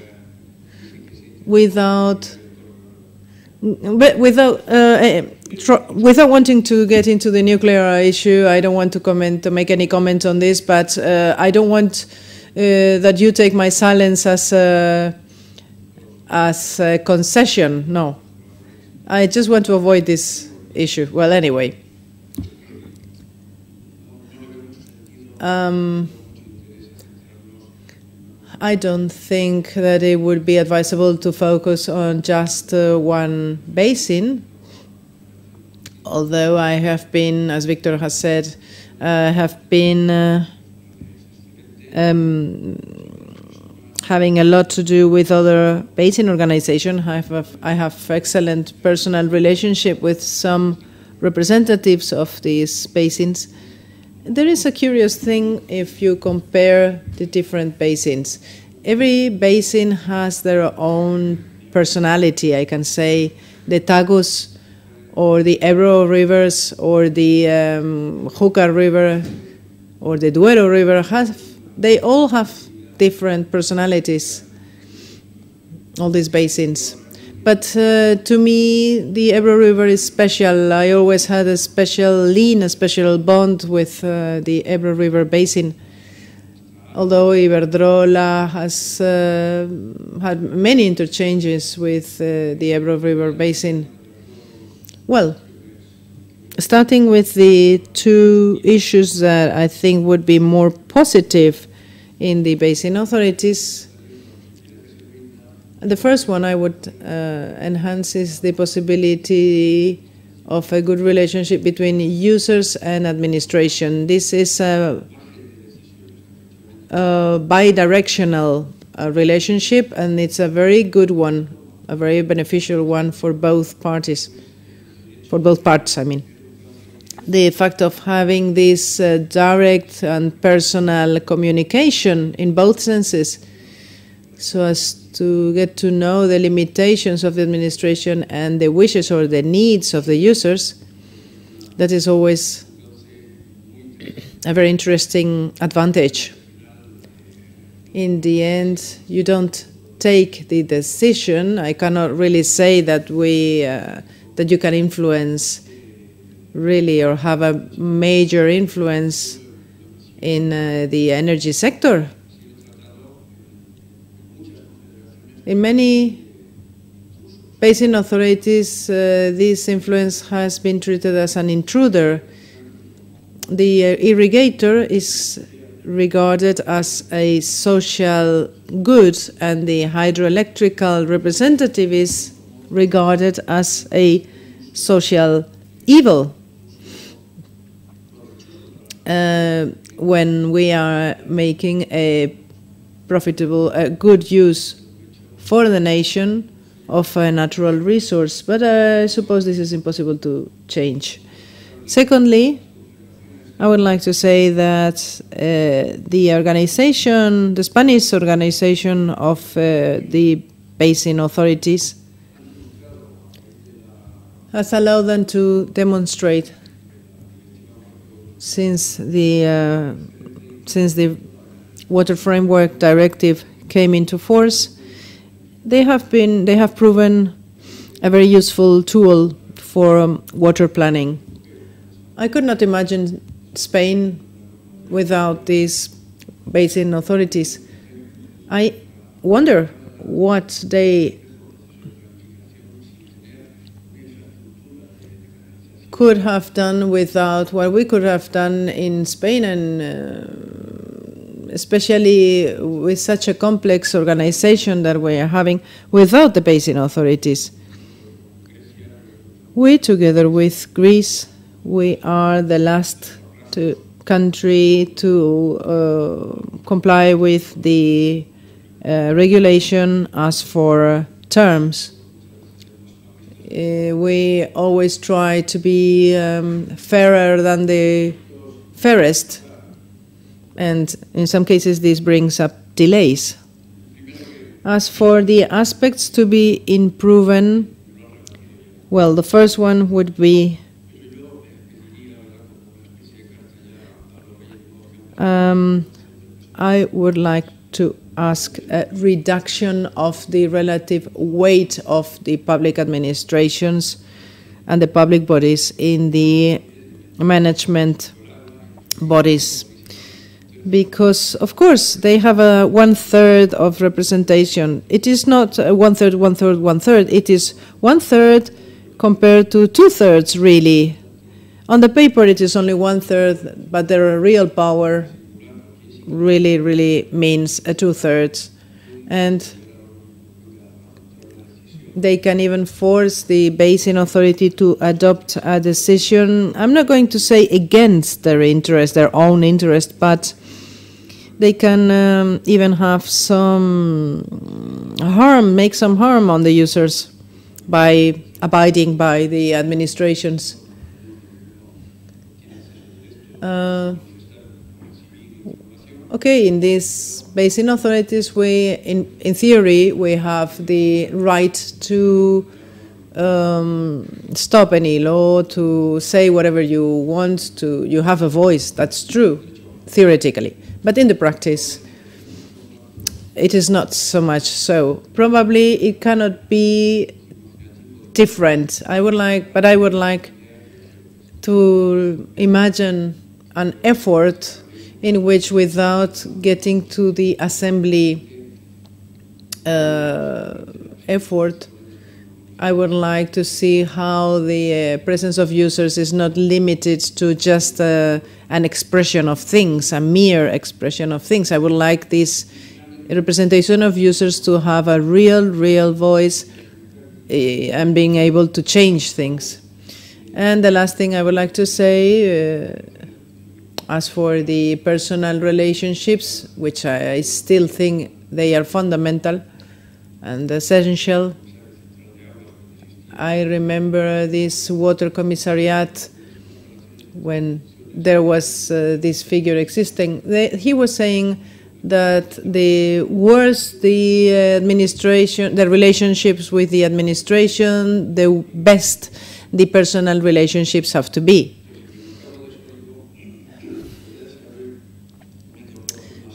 That is true. That is absolutely true, but I think the without diminishing or reducing this idea of the personal relationships, I think that we should make an effort to uh, improve the access to the ICTs. That means the uh, technical and the computer uh, communication devices, and uh, of course, not having any influence on or against the personal relationships. I think they are they are first, of course, primary, but also the communication uh, through computers has to be enhanced. Thank you very much, Prieto. Now the floor goes to Cesar Trillo, Mr. Cesar Trillo, who is the president of the Alto Aragon, uh, pre irrigation president of the Alto Aragon, which is a community that you will have the chance to visit this afternoon after we finish. Thank you very much. I would like, Mario, I would like to thank you for, thank everybody for inviting me here. I am going to speak about the uh, Basin Authority I'm going to join Mario a little bit on what he has just said. I've been working on this for a long time. I know this water authority or the basin authority for a long time. I abs- absolutely defend the basin authorities. And I think that without them, if they were not existing, we should create them. In fact, the um, European um, uh, the European community has been taking this model for some purposes, and beyond the uh, bodies which integrate the uh, basin authority, there is an issue that uh, shocks me.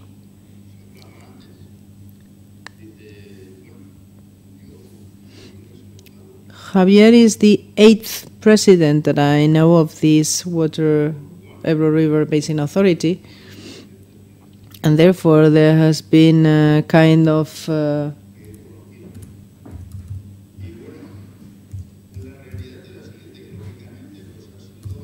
a kind of parade or a kind of procession of presidents. I have known almost all of them. There are three here sitting at my sides.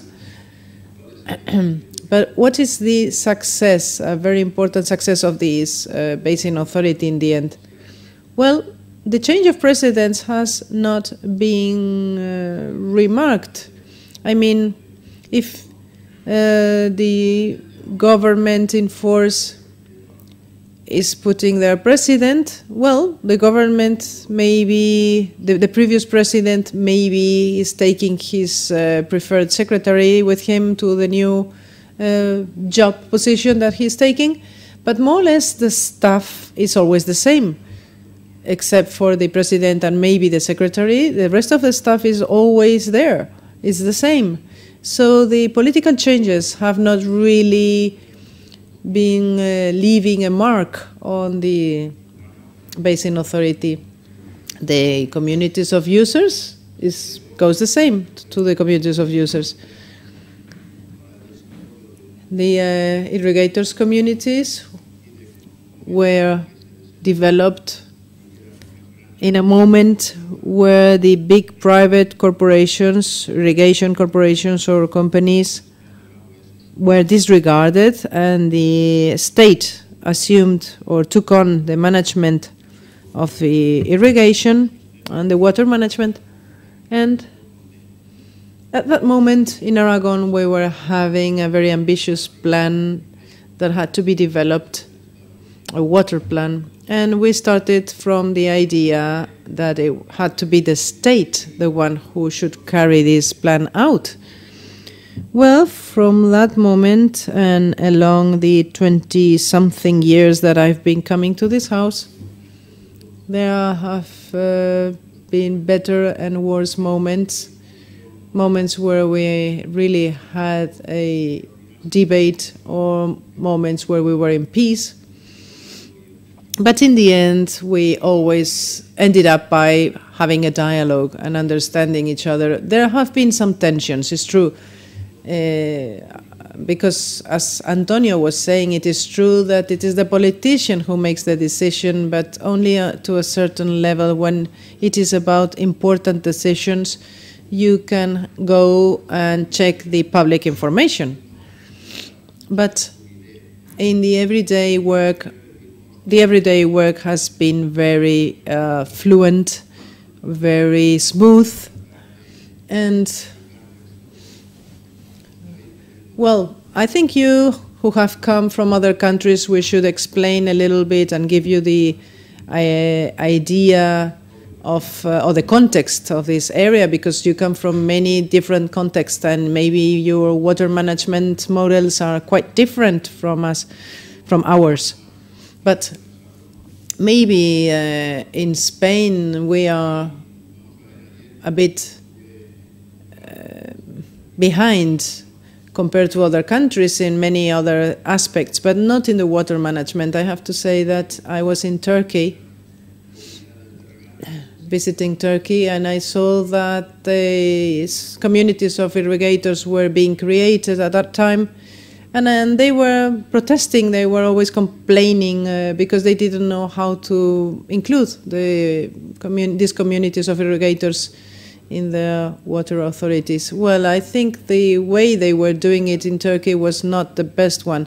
If we want to create irrigators communities, we have to give them autonomy. We have to leave them work, to respect them, and but I also say that when they are created, finally, this is the way we work. Yesterday we were listening to the case of Bolivia, 5,000 hectares and 100 hectares.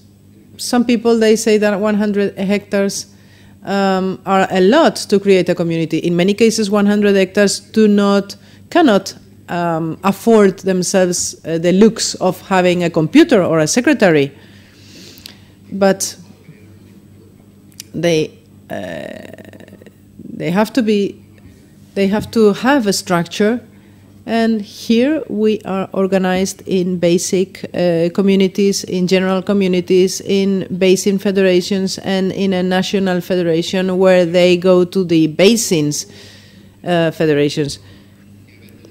What happens here? Sometimes we are really we are really um, an inconvenient truth for the administrations. We are uncomfortable for the or inconvenient for the administrations, but of course we are important can the hydrological or the water plan of the Ebro uh, be passed without the irrigators? Well, it could be, but not without the users. Do not forget that uh, in Borrell's times, the users were against the uh, amendment of the plan, and his proposal was not passed thanks to the users who didn't want this amendment. And uh, the minister was saying that he was doing a national plan for the users, and if the users say no to this plan, of course, this plan is not going to, to be passed. And he put it in the drawer and forgot about this plan. And that was on a national level. I don't manage the water of 135,000 hectares, not contradicting what Antonio was saying, but uh, to a different level. I do have a decision there. I remember in 2005 there was a serious drought, and I was sharing. I was the one deciding how to share the water. I was my uh, I was the arbitrator and the water, the basin authority did not tell me how to do it. The water authority did not um, mingle in me, in my uh, way of doing things. And the, there are conflicts uh, that appear in my community. They are not solved by the irrigation uh, jury, and uh, in that case, 1%, more or less 1% go to the basin authority, but 99% of the conflicts that appear in my area are solved within my organization, my irrigators, communities, irrigators. Just by way of example, I remember I presented some claims, some uh, allegations some statements or declarations uh, against a uh, an amendment that wanted to be carried out, but of course uh, it was on, on the modernization of irrigation. But to me, it makes no sense that the county council approves the fact that I have to modernize my community if I am not there to make this decision it is me who has to pay for this 10,000 euros, in fact. And of course, they cannot not count on me for this decision. Well, this is the message I want to convey to you. The irrigators communities, this was said by a Nobel Prize that is not no longer among us. unfortunately. These communities are not necessary for water management, but if they are created, they have to be created independent um, under the umbrella of the administration, but not complying with everything that the administration says. This is my uh, point of view. Rudolf yesterday was saying that uh, yesterday there was an area with two more Celsius degrees and they want the water for themselves and they don't want to yield water. Well, this uh, managing water or managing the basin by stretches, by parts, let's say, is not the best way. A basin has, well, there is the basin unit, but I understand by this expression the management of the basin. And it has to be carried out from beginning to end of the river. Any type of decision in any point of the river affects the whole river, affects the mouth and affects the source. And therefore,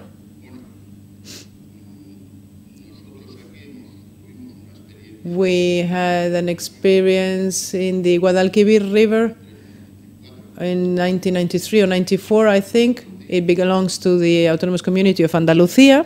It was a disaster, a total disaster.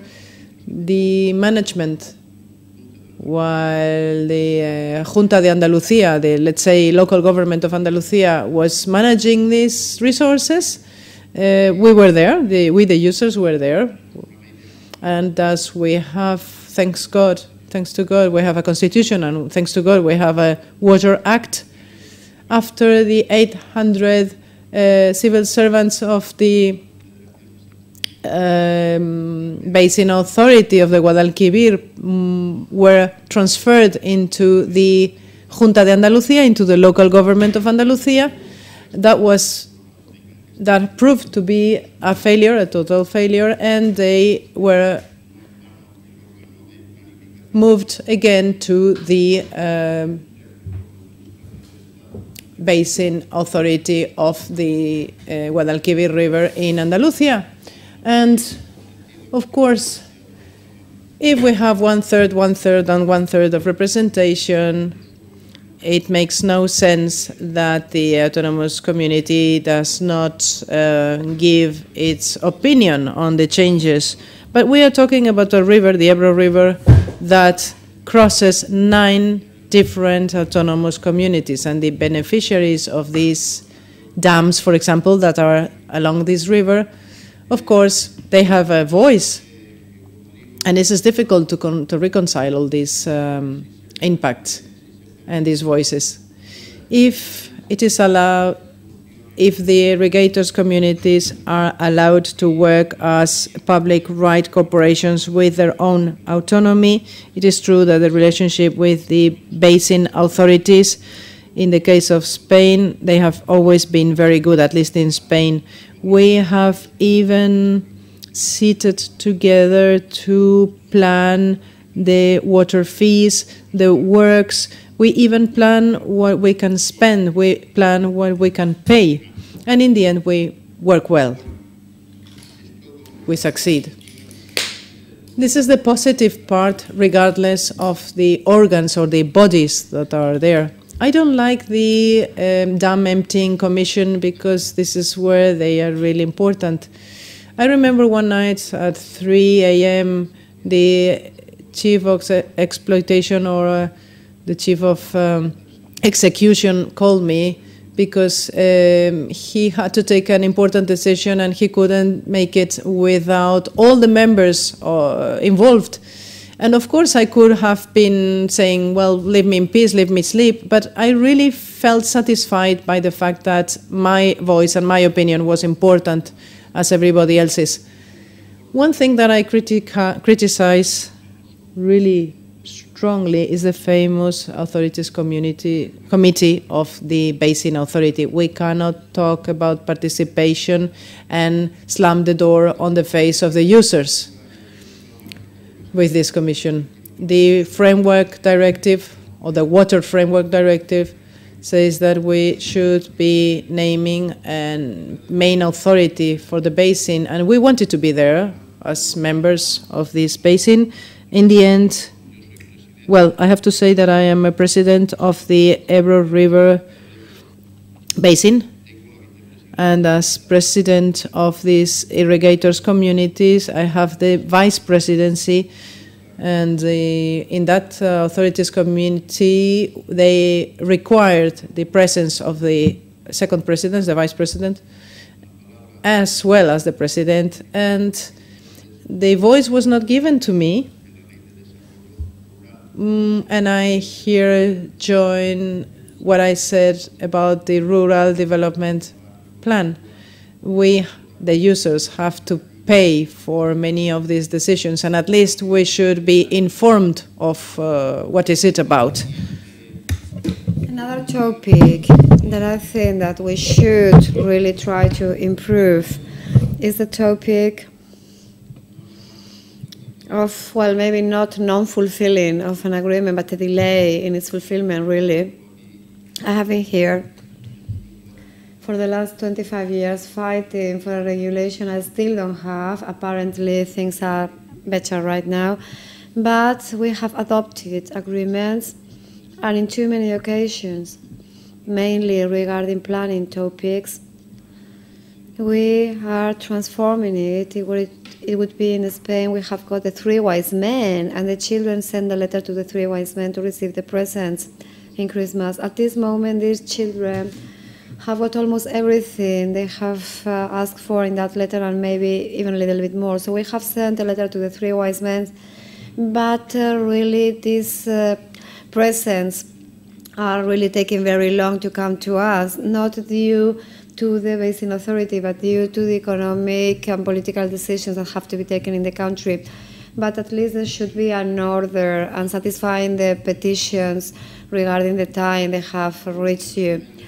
So there's another thing that creates a cer certain bad spirits or bad feeling among the users, which is a little bit this uh, stiffness. So when we when we talk about the staff uh, of uh, the authority and in the kindergarten of the authority, we are subject to an agreement by the Ministry of Environment, which is transferred somehow to all to the whole members of the staff of the very ministry. So, in an office with a timetable from 8 to 3, this could be something logical, but in a kindergarten, it is not logical to have an intensive timetable of 8 to 3 because you have to go around the channel to go around the channels in the morning, to go around the channels in the afternoon, to see whether water is circulating in the right way, whether there have been mistakes, whether the level of the flows is increased or decreased. And in these uh, sectors of the staff, there should be a bigger flexibility. And apart from this, uh, some updatings are been done and they lead us to reduce uh, the uptakes in the channels. And this updating or modernization are really very expensive and we should know how to save money on exploitation and in a path where we needed five bodyguards. Perhaps we could do just with two right now. So I think that it would be good even for the very own authority to tackle these topics because otherwise at the end really the unhappiness or the dissatisfaction reaches to a non-desirable situation. But to sum up, as I've said before, I really defend these basin authorities. I think that uh, this Ebro River Basin Authority, of course, with the due respect to everyone in the country, because some people say that uh, in Spain there are just uh, the Ebro River Basin Authority and the remaining ones. We have always been a model of participation. We have always been a model which is mm, the model that it is not so easy really to have uh, the bookkeeping updated every day and the users and the irrigators and the hydroelectric power, well, everything is adjusted to the last cent and if they were not here, we should create them. So thank you very much indeed.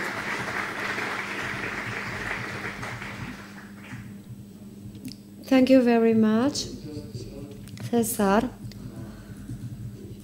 A very useful and true presentation. And the program tells me now that it is very interesting that people from other countries can also express themselves to pose questions, to express critics or concerns or make remarks. So I'm going to give the floor, mm, and we still have got one quarter of an hour more or less. So there was somebody from Peru who wanted to make a remark, I think, according to the program I've got. Thank you. I come from Peru. My name is Antonieta Nolli, and I have got a specific project at the north area of the country. And we have some perception of how it is being implemented, this water law. And above all, this configuration of the Council of the Basin. So, in this sense, and thanks for the presentations of the real lecturer because really they have highlighted many important as aspects for this implementation that my country is undergoing. But the first question I would like to pose would be addressed to Mr. Cesar. How do you do the registration? How do you register the users? Because as Dr. Embid has said, we have to think of the citizens. And I want to think, I, I come to think about what. Uh, how do we uh, make this registration of the users due to the land they own? Because, for instance, in my country, really the board is really very prone to accept more the questions or demands or the people who are users of water. We have got a very long coastline, and we are talking about the agricultural or farming entrepreneurs. And in the high and in the intermediate part, we have got also a, a board of users, but in the higher, in the upper layer, we do not have a board of users. This is the birth of the basin. And we are not taking into account this in the structure. So that's why I was thinking that these citizens that are not in the upper part of the Peruvian case, they are not participating. So what is it like in the Spanish case? In the upper part, who, who's responsible for that? Who's in charge of that? Where water is given and produced? The other question is something I consider to be very important, and I would like to you to give me some highlights about uh, what Mr. Clemente has said before. Sometimes you feel like an intruder, so I think sometimes there are many companies because they are working in the Amazonian area which do not belong to this users board. So, what is your opinion, for instance, on how can you registrate these uh, companies which are working there and are making use of water? How are you registering them? And probably you know that we have got problem with mining companies. Have you had any problems in this sense? Because as it has been said, to the weight of the votations, so the voting processes sometimes has got to do with these users board. And in Peru, the overwhelming trend is with the agriculture people. And regarding the big entrepreneurs right now, industrial people, they are considered to be a part of this users board. They are not uh, one more, they are not a user more, but they have got a very big weight because of the money they are dealing with. So, really, my question is how are you regarding the charging of this? Uh, use of uh, light and water? Are there any differences? Has it got to do with the cubic meter or with the kind of product you are releasing? How are you charging it? Because we have got many differences at the level of the citizens regarding light and water, electricity and water. And maybe the last question I would like to pose is regarding this participatory aspect. I start to feel that really the word participatory is, uh, is being worn out. And uh, the fact of uh, sitting at the table makes you already participate, but how the participant is conveying the ideas, concerns, uh, of the group he belongs to. This is my question. Okay, if you think it's all right, in a very short way, perhaps, or all of you can talk about it. Okay, I do agree. Okay. So from the table, we have got a suggestion that other countries have to talk first, and then we have to make a sum up. And then, of course, they can also uh, answer to you in the break or in the conversation. We have got somebody from Bolivia listed who wanted to make a remark. It is not something compulsory. Good morning. I think that there are many topics that could be important.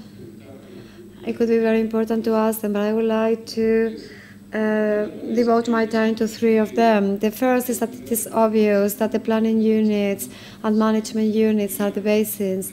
But in Bolivia, we do have a situation which is quite difficult of discriminating because there is a scale of basins which really binds us to talk about this topic about uh, where where does this basin finish? There are there are basins which are very big, sub basins and micro basins, and this is a very complex topic for us. The situation of this uh, Ebro River basin can be very specific, so from the birth until the end of it, and we can talk about different dimensions until its mouth this Amazonas basin is almost impossible to plan, the one of the Titicaca Lake too. So we have got another difficulty in order to relate these bodies of the basin, intermediate ones, with the ones of the bigger basin. The second one is the topic of the hydric, of the water planning. We are talking about uh, leading plans in the long run, but also of this water planning or hydric planning in the operative sense of this shorter cycle. So one per year or one every six months. So this is the second topic. How do you understand the planning in the in the terms? And we are talking about the third one. What happens if, for instance, in a basin, according to this planning, there exists to be there happens to be a new need of water due to the urban growth to the loss of uh, farming areas which do not need irrigation anymore but the urban areas do need it. So it will be important for us to know about the experiences you you have acquired about it. Thank you to the bolivian representative ethiopia. So just one second they are going to finish with uh, their questions. I'm umberto cantaria sorry sorry i hadn't seen you. Also also come to Bolivia. So first of all, thanking you for your generosity to share with us what you have, what you know, what you do. I just wanted to ask you, and perhaps you can answer to me, how is it that you have solved the problem of the regions? We in Bolivia, we have got a very serious problem of regionalism. So each region tries really to allocate every resource for themselves. And I understand that you have solved here this problem in a very generous way, let's call it that way, setting up uh, distribution mechanisms depending on the needs. So this is a topic. I would like to know how have you dealt with that? And the other one is which dimension has got the reusage of water, of wastewater, and also the extent of this usage for farming objectives. Okay, I do agree. And now Ethiopia.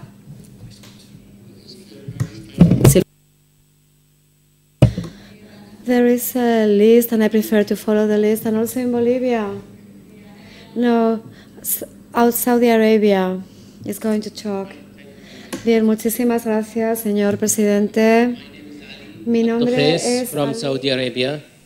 I used to work with the Ministry of Agriculture and Water, and with the water, I was the Deputy Minister for Water Affairs, and now working with the Saudi Parliament and the water is dealing with the water issues. My question, uh, we learn a lot from your presentations. They are very, very constructive. Uh, we are trying to benefit from your experience. Our way of dealing with uh, water in, for irrigation is completely different from what you are using. We have a regional aquifers. It is not basin by basin. We have regional aquifer that extends hundreds of kilometers which uh, many administrative uh, regions uses the same aquifer. And uh, the whole management is done by the Ministry of Water and Saudi Arabia has more than 2 million square kilometers. And it is very difficult to manage. The investors, the, the irrigators uh, coming from north to south, uh, there is no, well, there is no irrigator communities. We don't have water, water user association, and we, we currently suffer from depleting the aquifers. Groundwater levels are going down. Uh, water quality is deteriorating with increasing uh, drawdown. We are trying to find uh, similar conditions of ours to learn from. Thank you very much for your. Ok, Muy bien. Egipto. And now Egypt. Magdi Said from Egypt. Uh, I wanted to give me an idea about some hydrological data about Ebro Basin, the yearly discharge, the rate of precipitation, uh, the watershed area, the irrigated area about this Ebro, to know what the faces and what the challenges faces your authority in Ebro Basin. Also, I see in the presentation a huge number of dams. It is 55 dams. Are the assembly of participator uh, participate in putting the operating rules for these dams? And the, the major purpose of these dams is irrigation or generating electricity. Thank you. Eh, Kenya. Okay, thank you very much, uh, all of you, for your very good uh, presentations. Uh, I have a few questions uh, to the various presenters. Uh, for Antonio, the lawyer, I was a bit confused when you talked about the users and administrators. I thought administrators are also part of users. So to me, maybe it's just a clarification. Uh, the other one is uh, Turukas. On how do you link the basin or the catchment plans to the national level? Because there's this uh, Ebro River, I believe uh, you talked about the planning. How do you link that to the national water plan or maybe master plan or something like that? Uh, to Mr.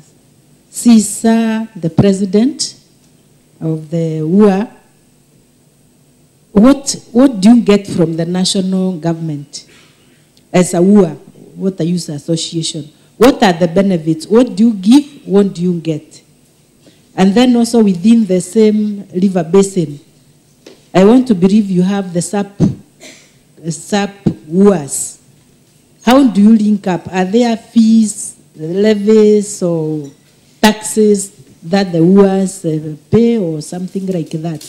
And also, the, it's like you are not very comfortable with the irrigators as UAS. I want to believe the irrigators are also UAS because they also use the, the water. Maybe just uh, also a clarification. Um, there was also the, from the photos, I somehow noticed the gender imbalance. When I looked at the board, the big board or the council, it's uh, maybe 100%, if not 95% male. What is happening to the female representation in the water issues? Uh, for us in Kenya, UAS and uh, UA formation is very recent. I congratulate uh, Spain, which is almost 100 years. For us, we are talking about less than uh, five, seven years as a project. We have been facilitating formation of SAP UAS. So this is a challenge to us, but I want to say that uh, necessity is the mother to invention. And uh, water is becoming an issue now in Kenya because we are also thinking of feeding the population through irrigation. We have been doing uh, subsistence farming through rain-fed uh, farming. But when we come to irrigation, that is where the issues of water come in. Thank you very much. Ok. Ah, Guatemala. Guatemala, adelante. Guatemala, Vamos a ver right si now. ya- We are getting too close because because there's a coffee, so we are going to reduce this uh, coffee break.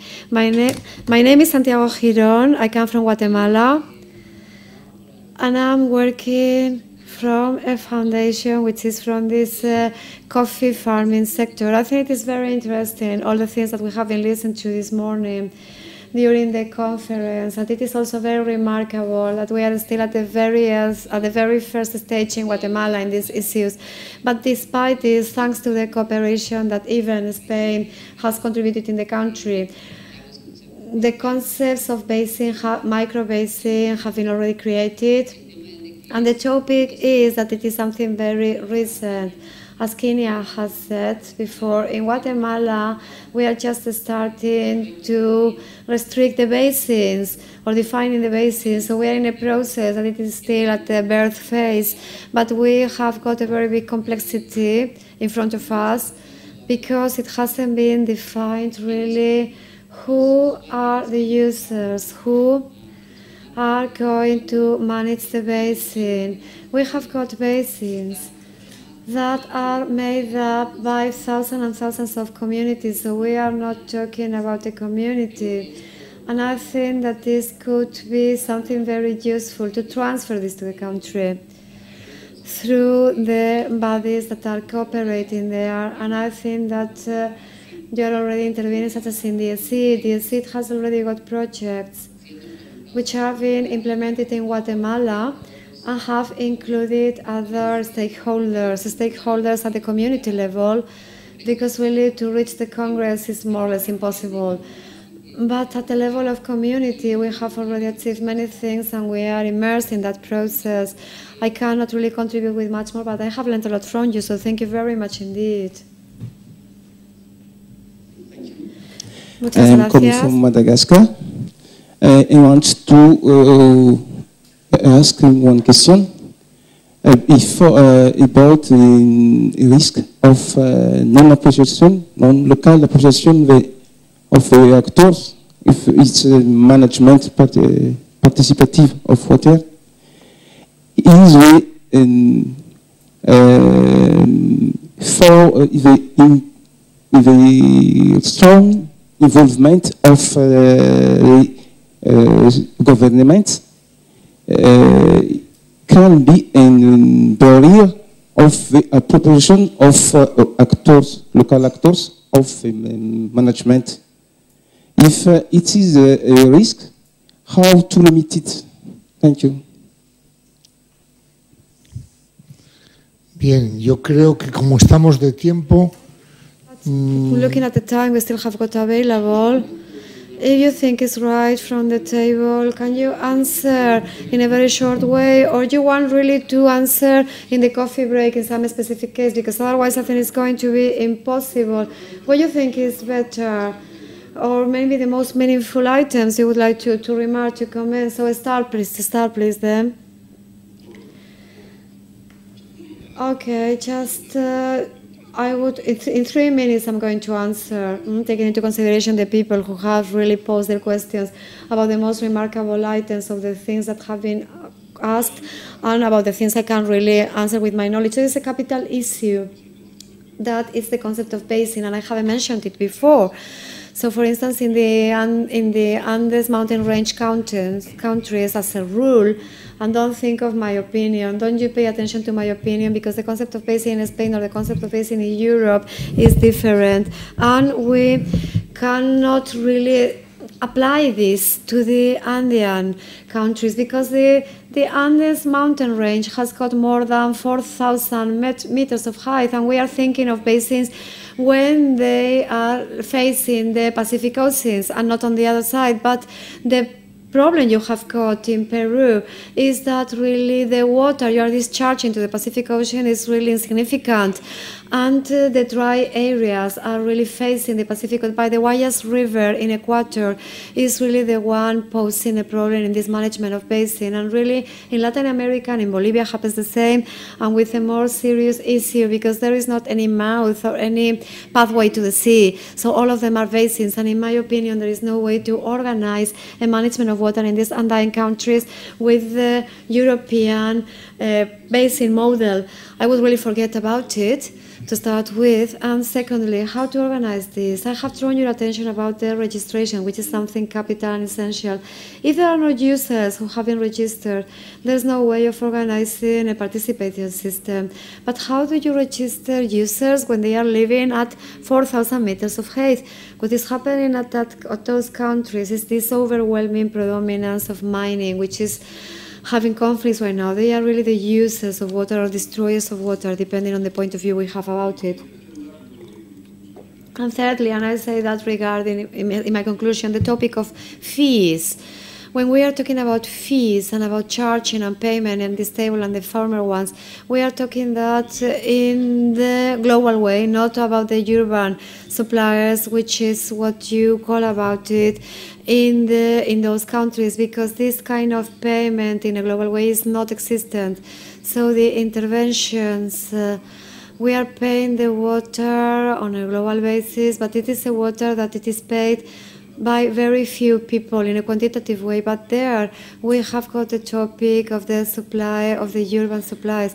As a piece of advice, and after having intervened in many processes, I would say that we shouldn't, and knowing that we have got a difference of 100 years, I would never ever recommend a massive process of setting up of uh, bodies for the basis in, in, none of these countries. We have to work with pilot accounts, with uh, accounts that can be identified, and where you can make this. This is an account, and it wouldn't be an account in the Spanish sense, not by far.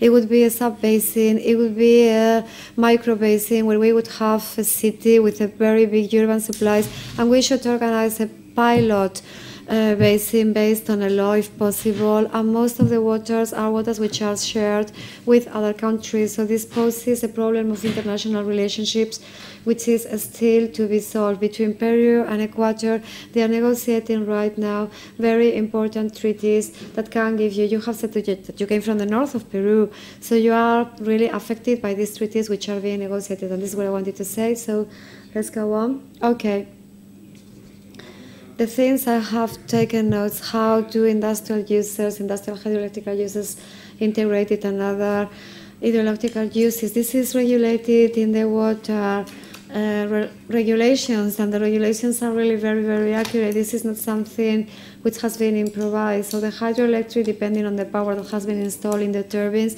and the rest of the uses, including the cooling, the thermic cooling, and other industrial uses, due to the volume that has been consumed. So it is allocated depending on these parameters, this number of representatives initially in the exploitation board, and through this we can reach these user assemblies, and finally the rest of the bodies of the administrations. And then the use of the dams in the case of the river Ebro, if they are of irrigation or energetic ones.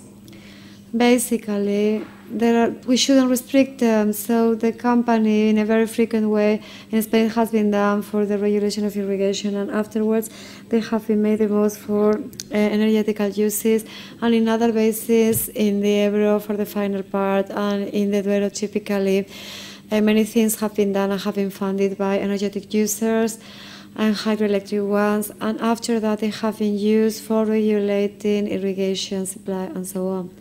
And I think that there's nothing else. Okay, thank you.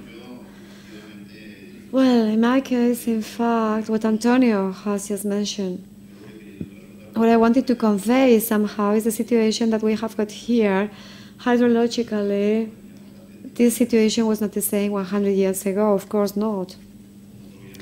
Let's not forget that we are a country where the Romans came, Arabic people came, they left the culture of irrigation. There are concessions of the king and queens done for 1,000 years. We have got in this Mediterranean bow some millenary concessions or grants, but in 100 years we have been able to have what we have. Let's see. When we are talking about rights, such as Peru or census or whatever, registrations, one thing leads you to the other. We have to know which is your rights in order afterwards to know who's benefiting from that right and how many people are benefited from this right and to start to make a census and to have them identified, let's say, So the people who come this afternoon for this irrigation of the High Aragon, there's an office there which is devoted, mainly devoted to keep this census alive with an engineer, a farming engineer, and an auxiliary person. We are still there. So from these 135,000 hectares, there are still other hectares which are not very clear. So what I have to say is that we are finishing with it, and we have got every piece of land and every industrial area. It's identified by satellite and so on, but this is very expensive. But we have to reach this stage, and uh, I don't know whether we can say this topic of unity of basins is going to be complicated, but then we have to create pilot uh, basins and the bases that can be created logically here let's say that the biggest systems of irrigation we've got in this Ebro basin are not really irrigating from this main part of the Ebro River, but from their affluents. But what you do in this affluent is also going to affect the mouth, and it's going to affect every user downstream. So everyone has to study what it can be done in his or own country, and we have to try to tend to have a water law to clarify the rights, to know who are the users and who are enjoying these rights, and to manage, let's say, what it has, what you can. So the basin, sub basin, certain parts of the river, whatever it is. And of course, it is like this. Somebody has asked, specifically Bolivia has asked afterwards, how have we solved the topic of the regions? And we have already solved it. We have already solved it in the last years. And what we are trying now is not to lose this. Okay. So, what I want to tell you is that it is like this. We have got some pressures in order to break this. So, we have been dependent on the basin unit and so on. I have been in the in the Po, in the Po River. And there it happened something similar to the things that had been said yesterday. Uh, the people at, the front part have got the right, and people on the other part can. So this is a river in Italy. It's a country which is there, and with the due respect and my respect to Italy, we cannot use in Italy the qualification of indigenous people. This is another thing. Italy is another thing. But even so, even so, in the Po River the circumstance has been existing that we had got these hydroelectric reservoirs at the front totally full in order to be able to produce with a bigger jump in it. And we have had problems not only of irrigation at the mouth of the Po, but also environmental problems then. And of course, the region that uh, is interested that really hydroelectrical power is in the region, and of course, it's being charged in the region, has to produce as much energy as possible. but in uh, the fact that in a situation of drought, the uh, headwaters are, dams are full, this happens when this is um, administered. The fees, the issue of the fees. It is true that here well, this is very long to, to be explained. This is very long. and I would say that I am available for everybody who would like to know this more in detail. Now we have a coffee break, so maybe you can take the chance. But it is very clear that everybody pays and everybody pays its, its price, their price. Well, we, there are some coefficients that are marked by the water direction, and the supply is paid according to an estimated benefit. And uh, we agree a higher benefit in uh, the supply than in the industries, for example. So therefore, there is a kind of scaling up, a scale of um, payments, but everybody pays. Uh, on the one hand, we pay for the consumption, and on the one hand, the other hand, we pay for the um, facilities and the connection. As for our area, we are not having an important scarcity of water, but we are using the within the perimeter of our irrigation area, the, uh, in the irrigation returns. We try to use these returns before they go out of the irrigation system. If we speak about the Mediterranean arch, maybe we will, or the Mediterranean countries, we will find uh, in Castellón, well, in the areas of the Mediterranean, in Castellón, in the Mediterranean, um, they don't reuse this uh, water of the irrigation uh, or the irrigation water. They just um, throw out, throw away the, the, the water. Uh, what do we obtain from the state? Well, when we are talking about works of millions of euros, such as, for example, the construction of a canal, the state makes the work, is in charge of uh, building up the work, and then it recovers the costs later on. What do we obtain from the state? The fact that it is funding, financing some works for us, paying them for us, and then later on uh, they will um, ask for the payment, the return payment of these works in long, in a long term, and we will be able to pay these costs. I don't know if I have answered all the uh, questions, but anyway, as we have the coffee break, uh, you can approach me in the coffee break. Uh, well, I would say to the representative of Peru that uh, as for fees or as for the poll system, the voting system, it is uh, the one who puts more stakes is the one who uh, gets more benefits. Uh, Marta Barrera here can illustrate, can enlighten you uh, on everything about the basing uh, bodies. As for the um, Peruvian basins, I have visited Catamayo, Chira, from up to down, headwaters to down to downwaters or downstream. What does uh, happen? The people uh, purifies water? No. People who treats water? No. You have to have a very clear idea what do you want and what do you need for it, and everybody has to work for it everybody is involved and everybody has to make their best, their utmost to achieve the goals.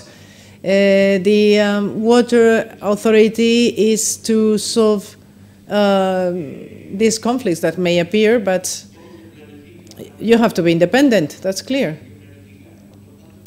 Do you plan on a short term or on a long term?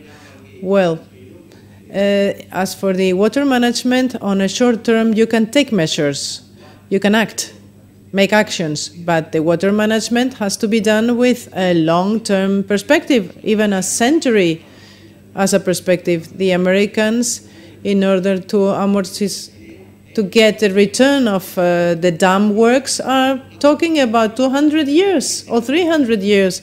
These social commitments have to be on a very long term we have spoken about the regionalisms and nationalisms of uh, commented by Bolivia.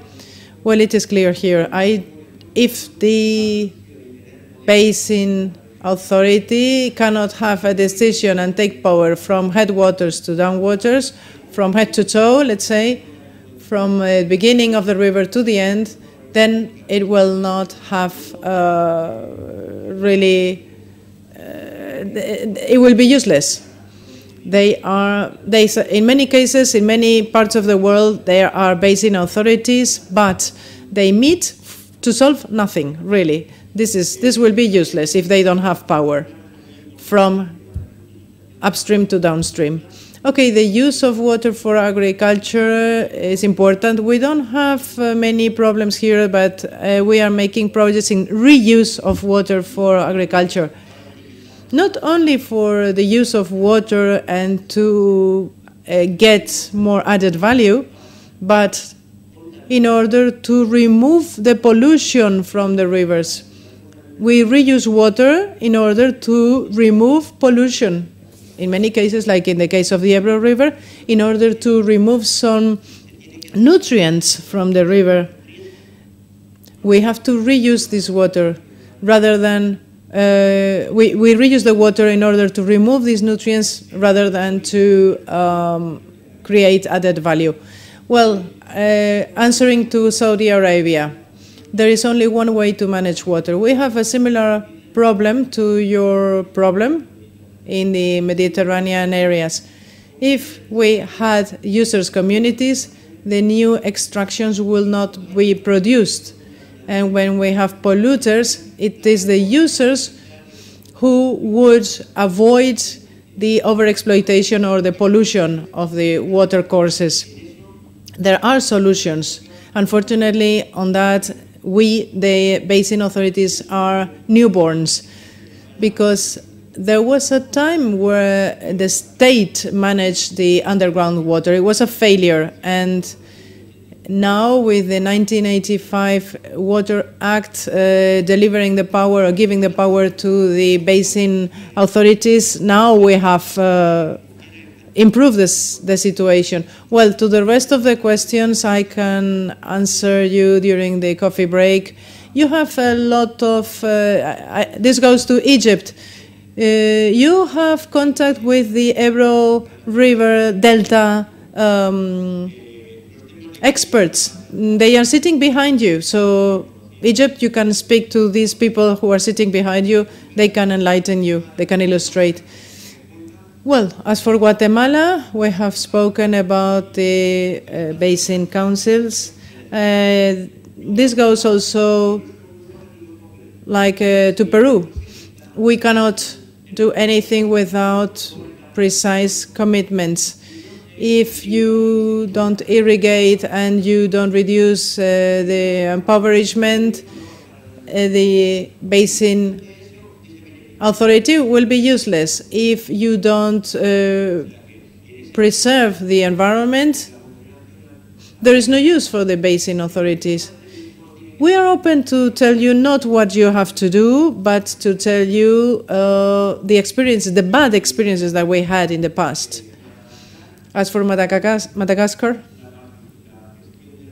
the uh, participatory risk management and the participation of the government.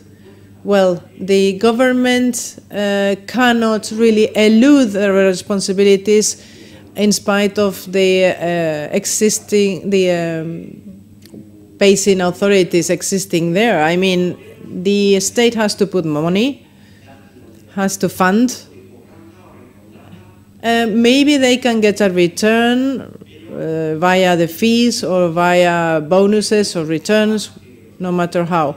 But the state has to intervene in the water management. But we say that one euro spent in collaboration with the users and the civil society is a euro or a dollar that has better spent that if it is the state directly uh, who spends this dollar or this euro with their civil servants or with its civil servants. Andres de Lucas wanted to say, uh, just to answer the Kenyan question, the planning that you were telling us. Well, in Spain, we make uh, water planning by basins according to national rules. We respect uh, the uh, hydrological plan instruction and the government rules, the state rules, and then these actions are passed by the royal decree, and then all the water plans of the different basins of the nation are passed. Finally, once they are all approved or passed, we put together all these basin uh, plans, and mm, by law, there is uh, one general plan that is approved by law, considering all the small uh, basin plans, I mean. We make an ensemble of all of them. Thank you very much. I know that uh, in the room there are many more professionals of these aspects that in this afternoon's trip or during the coffee breaks they can uh, have a contact, a very interesting contact. Thank you very much. We make a brief coffee break and then we will continue. Thank you. This is the, the last panel of the conference. I know we are all tired. Okay? Este es el último panel de la conferencia. Veo que hay muchos que no tienen los auriculares. Así que. Y. Um, use your headphones. I am going to make the moderation in Spanish because the three panelists are Spanish and therefore dialogue is easier. I apologize for those of you not speaking English, uh, Spanish, I mean. But I think it will be easier. Well, we're having to, we are going to speak about other experiences of cooperation that in this case are both on an international level uh, or at an international level, which uh, this is one of the most important uh, cooperation people. They are very modest, but it is very important what they are doing. And then we are going to listen to two experiences, very interesting ones. One related with funding. Yesterday we were talking about the importance of uh, funding and cooperation. In, the, in this case, we are going to speak about a solidary uh, funding mechanism and we will have also the pleasure to have women on the panel. All the participants were saying to me, What happens with women in uh, Spanish water management? They are in the second row, but they are there, of course. And in this case, we have the pleasure to have Eva Garcia. I know her for many years She's one of the persons that has most promoted public participation in Spain, and she comes from a pioneering region, pioneering in public participation, especially in water issues in this case. She comes from Navarre, and I think this experience, the experience of Navarre, is very special. You have to take it, we have to take it into account, certainly. Thank you, Eva, for coming here to share your experiences. Well, the format again is a bit dif difficult. Maybe uh, you remember Rudolf was uh, making a, like a mix of introductions, but in this case, we have asked them, the panelists, uh, within every of the cases that you are going to present what is what works better and what is what you think works worse? Or what should be improved? What do you think? Uh, this is very UN if you may say so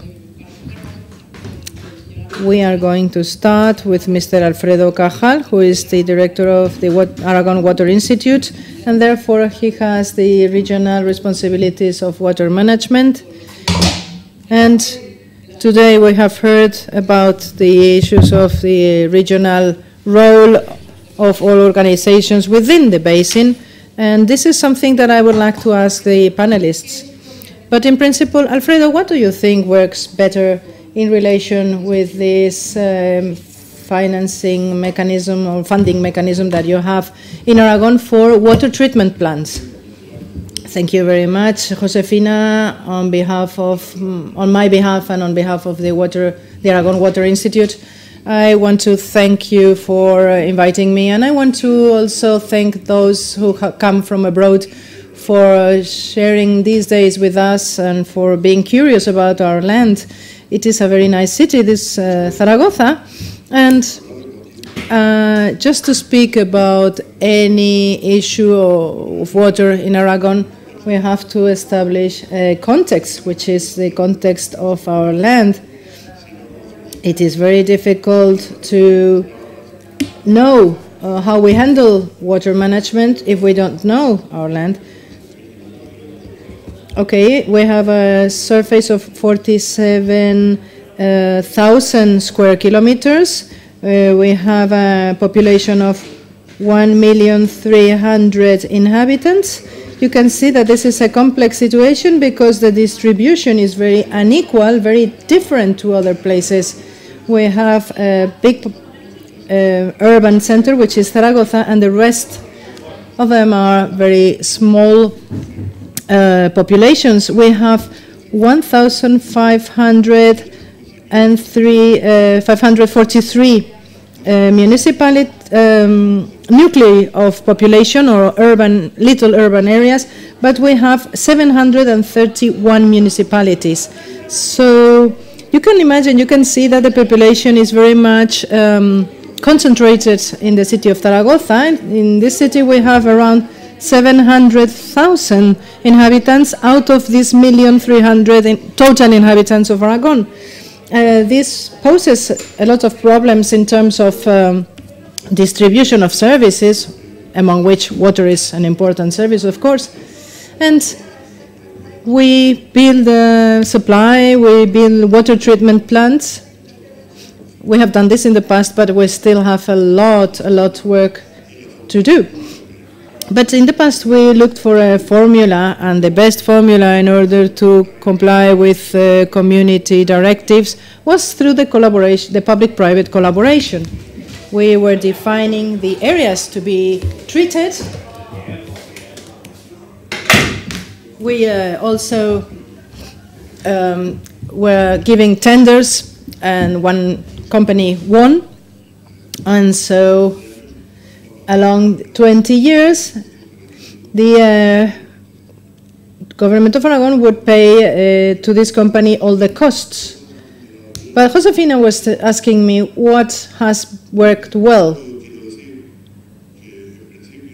In, to answer this, I would like to say that we work very well, pretty well, but uh, up to the moment of the crisis. When the crisis arrived, the situation was different. The companies that had to spend some money in order to make to, to, to build up these works had a lot of difficulties in order to get economic support on the credit bodies. And we are now having a lot of problems on the part of the companies, not on the part of the Aragon Water Institute. We are working on the redesign of these works instead of um, um,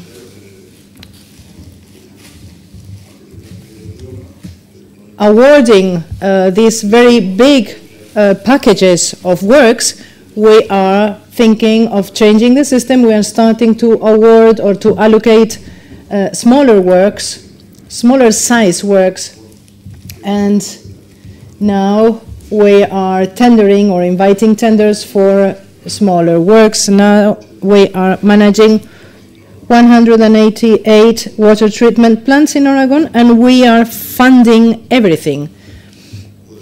How? It is very simple. Josefina was mentioning it, and she was making a reference to solidarity. We can define this solidarity as territorial solidarity. It is very difficult for a population of 500 inhabitants, uh, 1,000 equivalent, can build their dam, their water treatment plant, exploit it or execute it and make it work every day. As this was not possible, the Aragon Water Institute assumed took on this commitment, or this compromise in this case, and we have done something that was almost uh, compulsory. That is, under the principle of those who pollute pay, there was there were bigger or higher levies, level, uh, higher taxes on the citizens. In 1997, the government of Aragon established a tax. I want to say that this is a tax, not a levy. A tax an environmental and autonomic tax that was uh, on the wastewater production. Everybody produces wastewater, and therefore everybody has to pay this tax. In addition, the tax was affected, which means that all the money that was uh, collected through this tax would be devoted to the treatment, the wastewater treatment.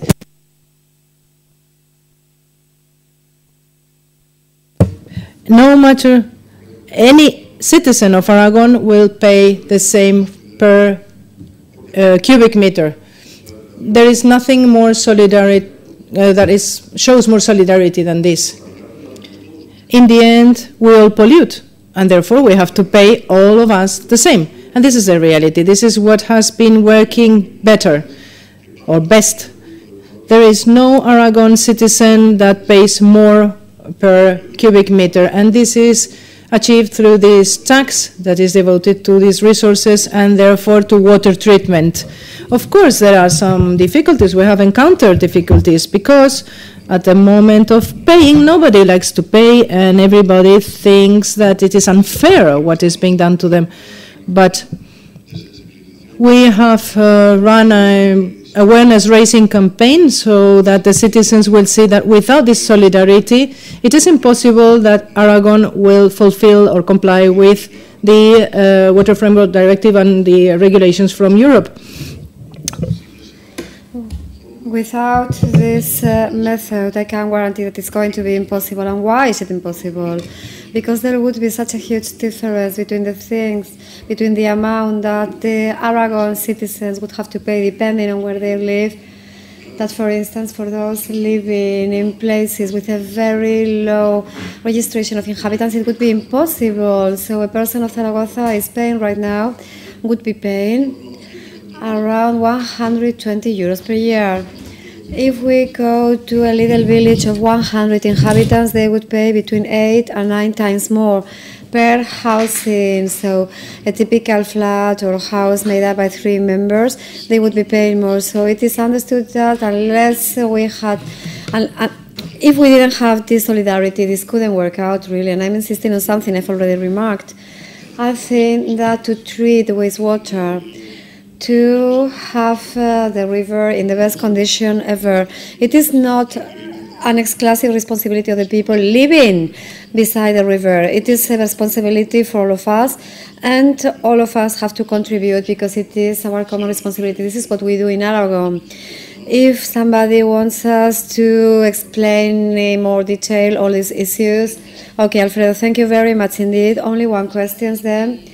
You've been You've been saying that you are making a raising, aware, a raising awareness campaign here in Zaragoza because you thought this kind of campaign is something that really works here. People want to know, to be communicated. What are you doing then, really? Well, we are doing.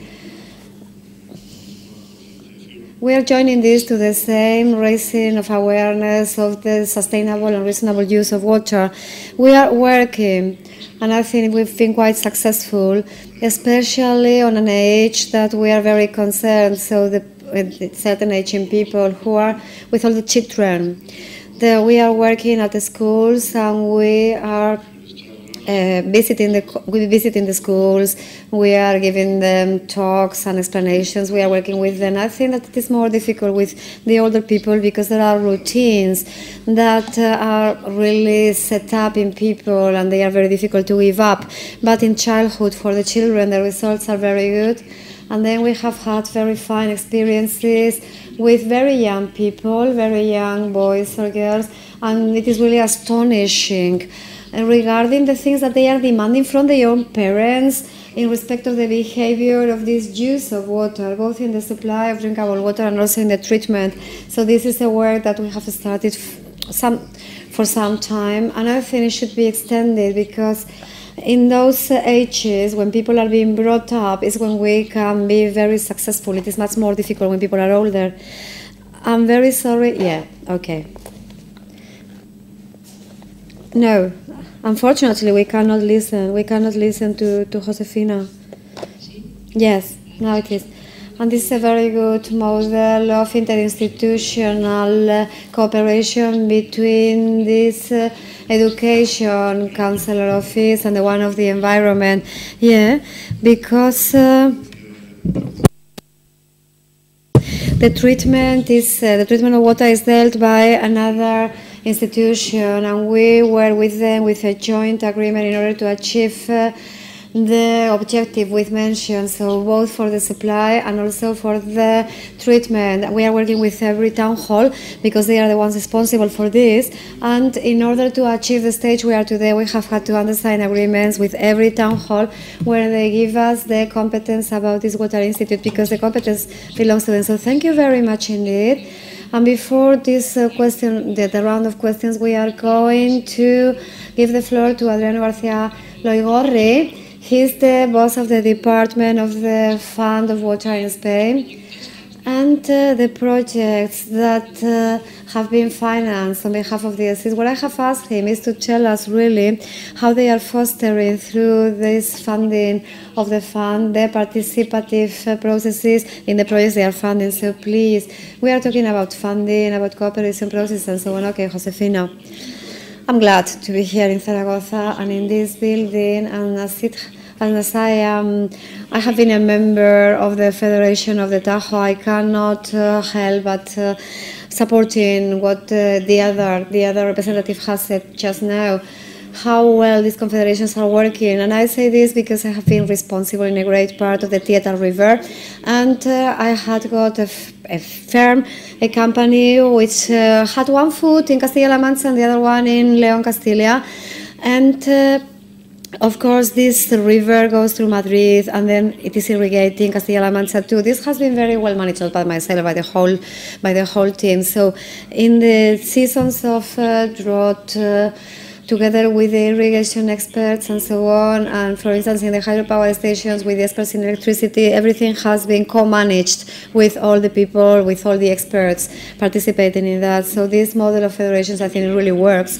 And I would like to explain in a very up way what the fund is, because perhaps some people do not know about it. It was a promise of the year 2007, which consisted of 1,500 millions of dollars, which were going to be invested in Latin America too. And uh, this was translated at the end in an office in order to manage this, uh, this fund for treatment and sanitization. And then uh, in the year 2009, we sanctioned, we approved the funding of 600 uh, euros for Latin America. When it's something that is not working, I'm going to mention this point again. Until now, 800 euros, 800 million euros have been uh, spent. Most of them have been managed with this uh, Inter-American Development Bank. And why? did we have this fund for this uh, treatment of water? We have thought, must we concentrate ourselves? We have always thought that the cooperation is most useful when we concentrate ourselves at the same geographical area, and international experts say that, and they are very right too. So we have reflected about it. What should Spain be concentrating on? Which is the advantage they have? Well, Spain, due to the Spanish weather, we have got a mainland which is quite dry in the south uh, and very humid in the north, and also with uh, rainfall which is concentrated on several seasons. So, for instance, uh, in winter, in summer, it doesn't rain. Roman people and many others, the Arabs, have come here with their own infrastructures the oldest institution of Europe, not of justice, but uh, not of water justice, but of justice, is this uh, water court in Valencia, which still meet every week once in order to decide on the problems of the irrigation uh, experts and of course, we have to discuss too the problems of this Ebro Confederation, and Spain has got a very long experience in this water management, which is, according to my view, one of the most important problems being dealt with in Latin America. So the management and planning of it.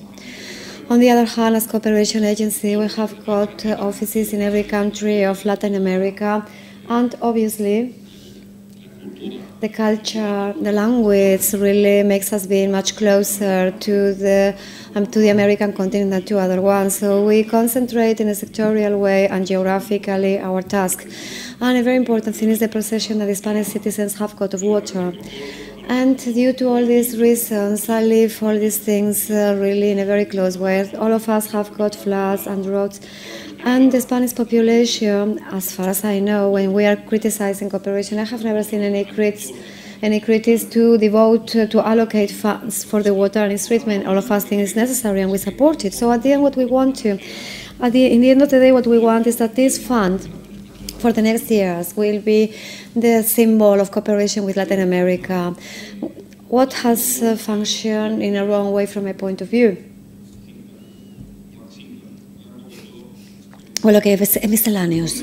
Let's go and offer some miscellaneous comments. First of all, talking about the fund, we're going to talk about the problems we have had.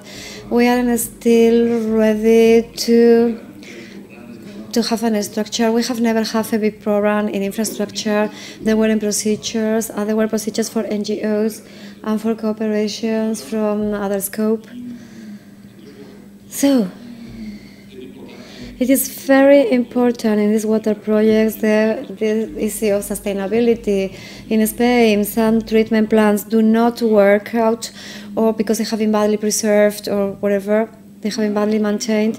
So something very important for us is that the Spanish citizen, which has contributed with money for cooperation, this money should be well employed. And of course, we don't want to use it in pipelines which lead nowhere or in treatment plants which are not working. So there were some demands on the users, and we must also we had to do some pedagogy in our own agency when they see that the projects the next year still we do not have water of course not because the project as you know needs an infrastructure first of all there's a planning then there must be an executive unit which has to do this uh, tendering uh, notebooks and also to check the designs and also to start somewhere. So we had to do some pedagogy because uh, things uh, were thought to be much quicker and it is not. And I have experience also in Spain that a shock plan of the irrigation really lasts, really takes a long time to, to be implemented.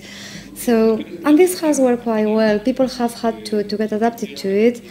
At the end, in the agency, we have had a sectorial plan focused on three axes in the hydric resources, in the, govern in the governability, and also we have got the support of the state with 17 experts in field that we didn't have before. And we have made an alliance with the BIP that has helped us very much at the very beginning because they have had an experience of 50 years with water treatment, something very valuable for our projects. And we have had also a management order with the technical public entity, which is the CEDEX in planning in planning matters. So how do we work with this participatory management? This is what I wanted to say. We work in the urban. We work in the urban areas. In the peri-urban areas, the usual management is in the hands of the water firm of the city, sometimes public, sometimes private. And sometimes you have to reinforce it because it doesn't work so well. But there is at least a body in order to manage it. But a very important management is the rural areas. And in Latin America, more than 40 million people are supplied by the so-called community water board. What is it really, this community board, from the point of view of Spain? A very small country compared with the American ones, and very densely populated per square kilometer compared to Latin America. Is situation is very different. In Latin America, for instance, the Peruvian Amazony, the communities are far away one from the other. And uh, the thing is that the 100 families of a community, well, we have to make a work for them, a plant, and they are the ones, those families are the ones, the inhabitants, the ones who have to maintain it. And sometimes when the community hasn't participated in the decision, the things has not uh, worked out because the families, the inhabitants must participate in the decision from the very beginning to know what they, in order for us to know what they want to in the construction, in the building, and of course in the management. So there's a very wide experience in Latin America, and the focus of these water boards is very, very old because in the 80s, 90s, so what we are seeing now is that these water boards, when they are left alone, they really fail. And the infrastructure that was well done, at the end, uh, some of the items are broken, the valves are broken, or there is a hurricane, or when there, when a major, a major reparation has to be done, things that do not work, you have really to monitor it, to follow it up constantly. There must be an entity, an authority. It can be a municipality, a community, in order for this to work, and we are working on that. And for instance, talking about Guatemala, I think that Professor Embid is really a very wise man I wouldn't say I wouldn't say the opposite. I would never ever say the opposite. But I think that we are always thinking Oh, when we are talking about bases in the macro bases, such as Amazonian, in the Amazonian one, and the experience in Guatemala tells us that we can do things well in small basins. The Spanish cooperation is working, has been working for a long time in communities. And apart from this, making up a community is a way of thinking. So the one who's discharging upstream is really harming the person who's downstream. So if we reinforce the front, it's something beneficial for all of us. This is working in Guatemala. We this is the basin really can work with planning. Eh, and for instance, in Guatemala, we have had the involvement of many communities, and we have to take into account the sources of the springs in order to supply every community, disregarding whether one source is very close to a community or not. So the system is working. I'm not so pessimist that uh, I can think that it cannot be implemented at a low level. At a high level, those are things that are beyond my field of action. And there are many more people who know much more than I do. But I would really be very optimistic because this is something which has a typical feature of the Spanish cooperation. We are also working with communities in Honduras, and we think this is a very good system for the sustainability of the infrastructures. I would like to say more things about water. An anecdote I cannot help mentioning water. Not only is health, this is something quite obvious and self-explanatory, but uh, it is productivity in order to remove disease so that people can work more. It is gender, so that the the girls, the the the, chil- the the girls, the female children are the ones who are always taking the water from the source, and this is education. And I would like to talk about an anecdote talking about women. Josefina said, Human community I have visited in El Salvador, where it was made up by men, and the president, the chairwoman, was a woman. The woman was about 30. She was a real leader, an impressive woman. Really, I admire her. So in her home, apart from leaders, she was also the she was also in charge of the money of the cash, and she had put a poster: "Please Mayor, pay the first uh, the first Monday every every month." Uh, so it was really um, these sentences were written with mistakes, but this woman was a real leader, and if this woman had had the opportunity to study, uh, we she would have been. Oof, she had had such a great potential, and this woman could have done much, much more had she had the right uh, education. And we have to reinforce this. We have got the indicator of gender in many, many projects, and we launched the fact that in the governing bodies of the community boards there must be women. We have got an indicator. We think it is good. We think it is necessary. We haven't published this yet, but of course we also have got a bio of gender in order to focus. um, Of, in order to focus on that, uh, this is very, very important in a, in a water board because women are the ones who know water better. They are in charge of children. They watch the children with it, and depending on the community, sometimes it's very convenient to talk with them alone, isolated. This point of view is very, very important, and we don't want to leave it behind.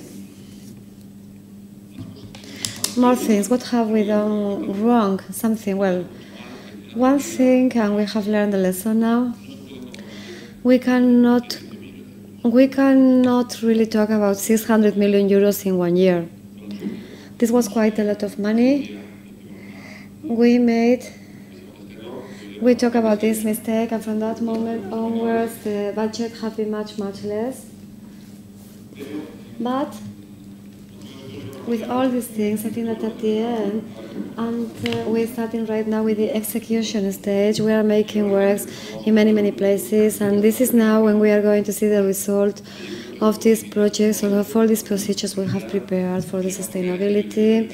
Of course, this viability researches must be there too, and at the end, within the contributors, we have to use everything in the best way for having water and sanitation. That's it. Thank you very much indeed.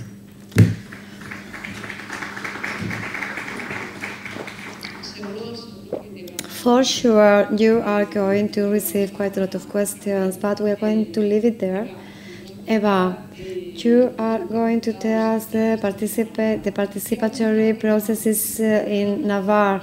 What has it functioned what hasn't it functioned? Don't be afraid. I'm going to to play to the rule and I'm going to do a short presentation, even though I can do it in a very general way. But as I hope that many questions can be posed afterwards, we have the occasion to know where it works and where it doesn't. First of all, to tell you that I come from an organization which is the Center of Environmental Resource, Resources. It is an institution linked to the General Direction of Water and Environment. And we are an entity which is an intermediate one where our main function or our main mission is the sensitization, the training in topics of uh, environment. And we have served as a support from the year 2006 to all these participatory processes in the water. I want to show the map, just showing the map, because many of you do not know really this action. Within the Ebro Valley, we are very disseminated so that you can see that within our possibilities, we have got enough rivers. And the effort that has been made uh, of these autonomous communities, the effort made by the autonomous community of Navarre in order to try to go forward in this idea of the processes and a more open participation has been something really important and fundamental despite of being in a small region. And this really make us have a situation of uh, being able to launch pilot experiences and without any further ado i'm going to start with the presentation these are as i've told you pilot experiences and very often Mm, They are useful for us. we can learn from them. So what I'm going to pose to you is eight challenges. Eight challenges where we have uh, thought that it was really essential to think of this way of learning for new processes of active participation. I'm talking about the active participation of this morning. So the biggest involvement for the citizens. These eight challenges would start to define the scale we have seen how the basins are organized. We are a small region, we have got a lot of rivers, and at the level of sub-basin, we are really very diverse. So, which scale should we take? For the first moment, we took this one, the level of sub-basin. We had a very valuable experience, and from that moment, we started to a scale of a very wide uh, scope or scale. This is the innovative experience I want to present to you. Why? Because in the reverse, very often we act uh, like with a with a temporary solution, which is searched for at uh, local level in the municipalities, and then when we have got a crisis or a conflict. So this idea of making a reflection at the level of a, of a certain path about the topics of three directives at the same time. We are especially worried about this directive of flood, but we also have got uh, a directive of this water framework with a good ecological state. So, what are the actions that we do that can protect the population, that can reduce our risks of flood, but that can be respectful also with the environment? And the answers until now have been really just uh, very temporary. So, this is the need of joining a certain part, so for instance, the lower ones of the Arga and Aragon River with the same problems and with a very important influence so that they can be known and we can be talk, we can talk about it. And the habitat directive is the oldest one and we have got here some of the species in danger of extinction at the European level which is the European uh, bison I don't know the name. This is the challenge and we have really to define the framework where we have to do this discussion and this open participation. We have to avoid to talk just for talking, so we have to focus that in a very organized way. And something very important has been said this morning, we are not starting to talk with a document, but in a parallel way to the technical work. We have to start to work really at the technical level with the new technologies and to know which was the real risk situation, the ecological one, which was the problematic, and historically we have started with some uh, uh, channelings and so on, but really there was this idea that uh, a narrow cooperation is necessary between the technical work and the participatory work. So otherwise, we are going to talk about consultancy, consultations at the end, and this is what we want to avoid, to start and to talk in a joint way, and that the richness of these debates can also enrich the technical works, and also with a new way of doing things, which is the following challenge that we have thought of. When you open this participation to the whole citizens, to all those who are interested on it, you are posing or you are thinking of a new way of working within the administration and out. So this technocracy we have mentioned before, and of very participatory forms where can we, what can we reach, and we have seen this, and it has worked. And I say this within the administration, because one of the keys was really, according to me, how the local authorities were involved in this participation. So therefore, this process had been previously been worked on, and it was a decision of starting both of the authority of the region and also of the other local authorities a new way, a new way to relate uh, among the agents we are accustomed, we the users are accustomed to uh, uh, go to the uh, basin authority and speak aloud. Here we have been very strict, trying uh, to make that the all the different typologies and all the uh, types of ideas are present we have made an effort in trying to gather people, to bring people uh, together and bring them in these debates.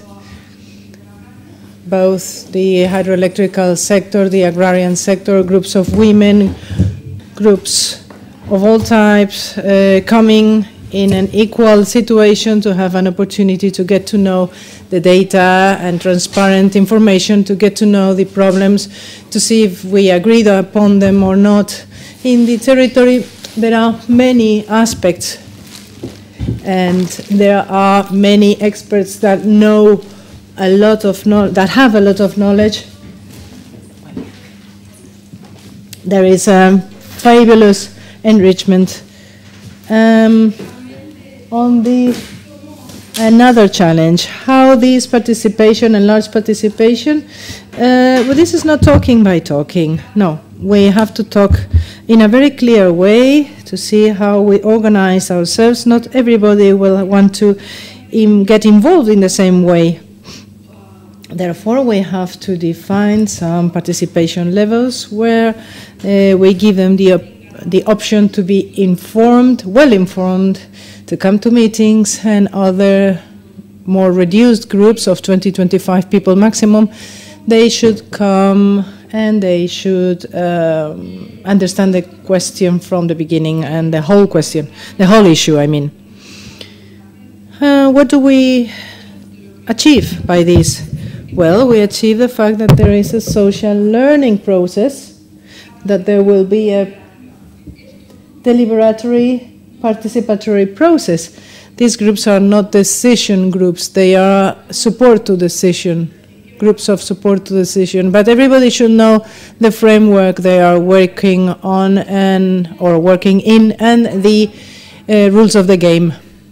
There is a learning and a recognition of the agents in the territory, and this is very important.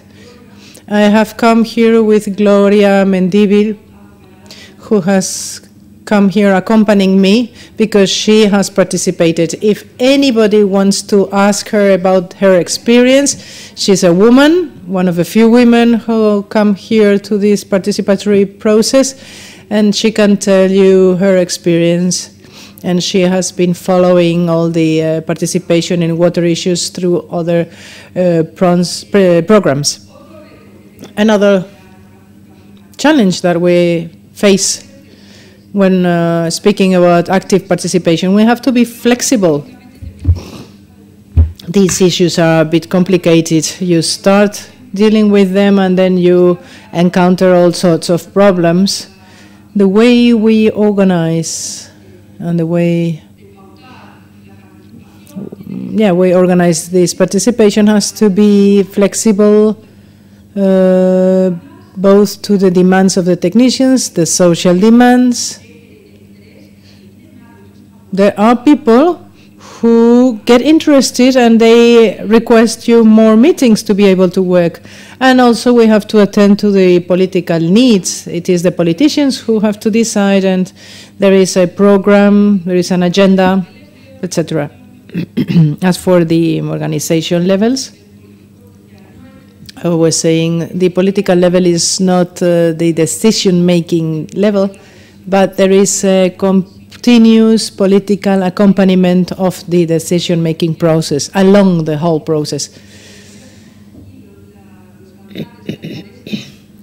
the mayors of these six municipalities formed the follow-up commission and they were having a continuous feedback with all the works that were carried out and even they were present in many of the meetings uh, just by listening without participating but this allowed uh, them to make a final decision that was much better informed in fact as I said, we have to be flexible, but we also have to say up to when are we going to be flexible. It cannot be an eternal participation. It is true that new issues emerge, but we have to be able to say, okay, uh, we have complied with the goals up to here, and from now on we will speak of a second phase, for example. We have to get some useful results and outcomes for the decision that mark a before and an after moment and also to we have to leave information useful for the following phases and the next phase the final phase. And then when everybody is enthusiastic about the project, when everybody knows, understands what the project is about, when everybody knows about the quality, what is quality, everybody knows the actions that uh, are more acceptable, socially acceptable, when we have made also the uh, environmental, economical, and, and social assessments. And then well, we are there at that moment. We are trying to um, change our scale, a new goal, a new scale, to define new uh, specific projects where we have had a lot of conditions and restricting um, issues that are giving precarity to these processes political changes, governmental elections, municipal elections. All these are hindering, are barriers that are hindering uh, these projects. Also, the economic crisis, of course. These are different aspects, and we have to include them so that this precariousness um, that we are generating and this work that we are generating will be kept a long time. Thank you very much.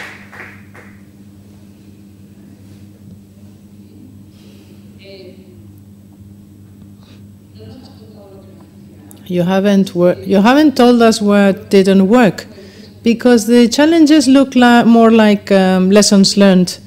If you had been able to do things differently, what would have you have changed? Well, just an example. The flexibility that I was talking about requires technical and economic uh, resources, and we have been suffering from this lack of resources.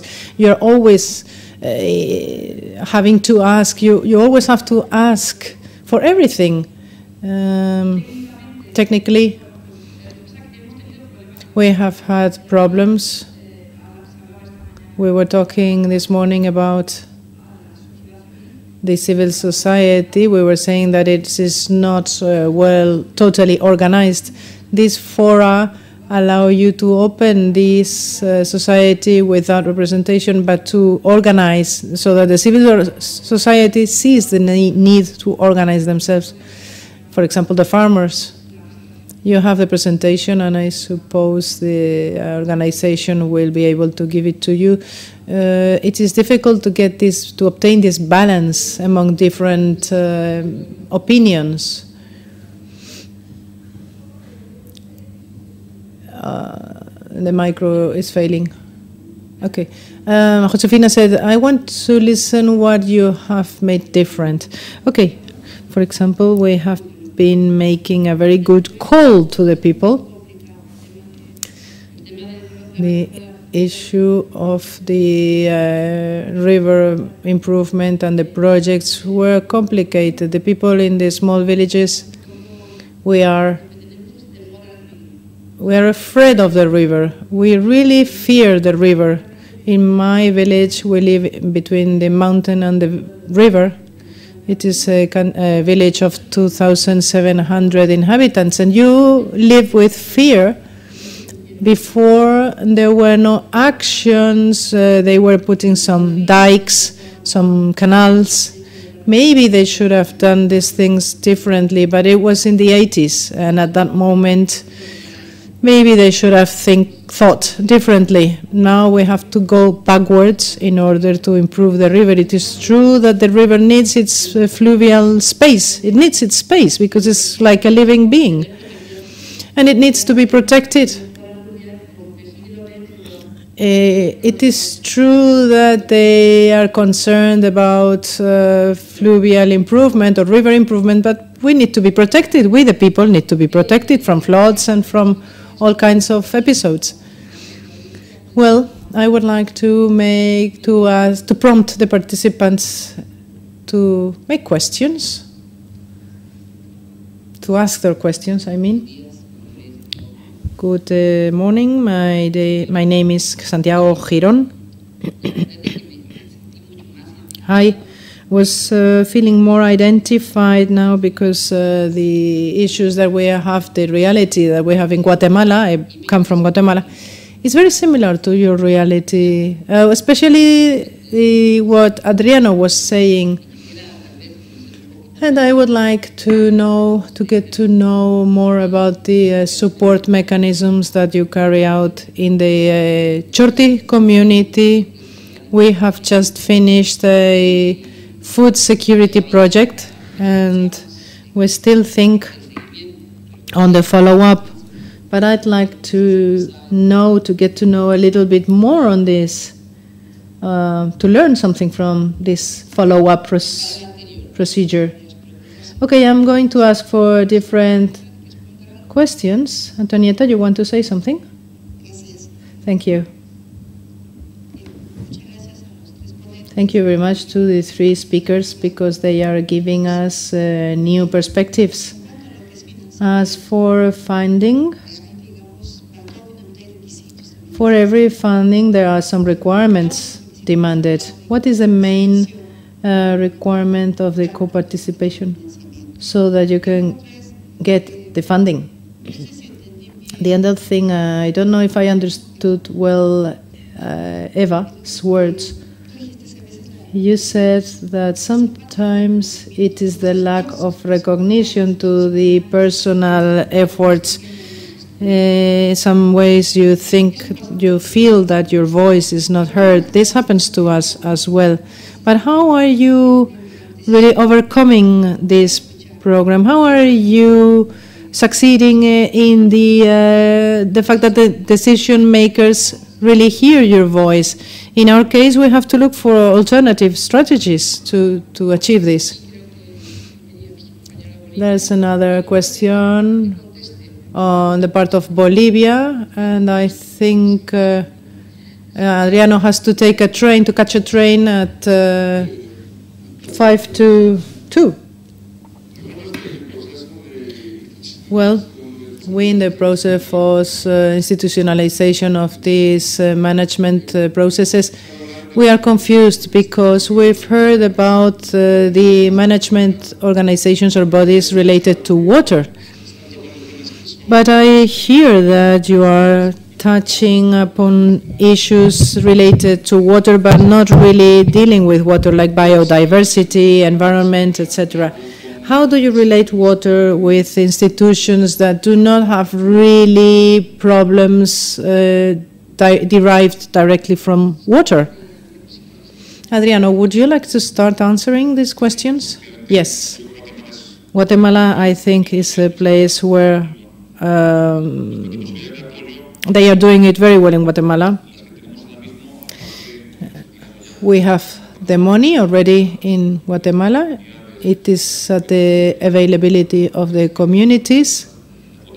They are the protagonists, the main roles, the main characters of these projects. We also have the support of the Center of Hydrogeographical Studies, for example, for treatment plants to study better treatment alternatives. This uh, institution has made a manual, a guide with the state of the art in the low cost treatment plants. Why? Because in Spain, the sanitation of big cities, large cities, is already uh, implemented.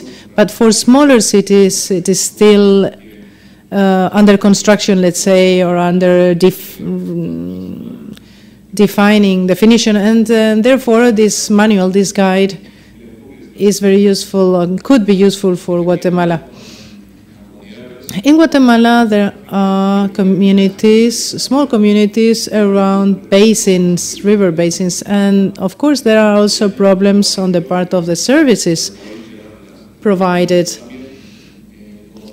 as they are relatively weak communities because they are far from the capital, some of them. Uh, they are grouped together in order to make uh, common studies, and I think this project is working successfully. But as for support, we can support in the matter of uh, planning, uh, and of course, if the money of the project, the community decides to use it uh, for X or Y purpose, they can use it as long as the other partners uh, agree on this use. Well, what are our co-funding needs? We have some minimal, minimum co-funding requirements according to the country and according to the royal decree as well. In uh, Bolivia, Honduras, Nicaragua, and Haiti, uh, which are countries that have a high debt uh, the confidence is trust, uh, the trust is zero, I mean. And in uh, relatively rich countries of Latin America, this ratio is 50 50. Argentina, Brazil, Uruguay, Costa Rica, Panama, Mexico, Cuba. In these, only 50%, but we just can devote 15% of the project to these countries. Or the middle countries, uh, we can dedicate a ratio of 20 to 80. We can, we have 800 millions in projects. I suppose he refers to million euros.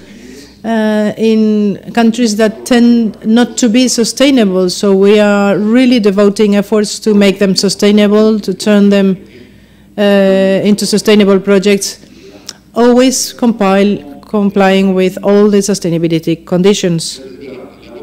It is true, water is not only drinking water, it has many more implications. Our point of view as an agency is that all our actions are sustainable from the environmental point of view. But we have many problems in many countries where the water is divided between Ministry of Health, Ministry of the Environment, Ministry of Public Works, private managers, uh, municipal institutions, etc. There is such a dispersion, dispersion in Latin America that it's very difficult to handle these things. Who does what? It is very complicated. In the projects, we try to involve in those that can affect more than one ministry. We try to involve all the ministries concerned and we try to be facilitators. We try to act as a bridge, but it is very complicated as a doctrine. Sustainability and the environmental point of view is uh, fundamental, is key, essential. And because we think that this is the legacy, the in heritage that we are going to give to our sons, our descendants, and therefore, uh, of course, we have to take very much care of it.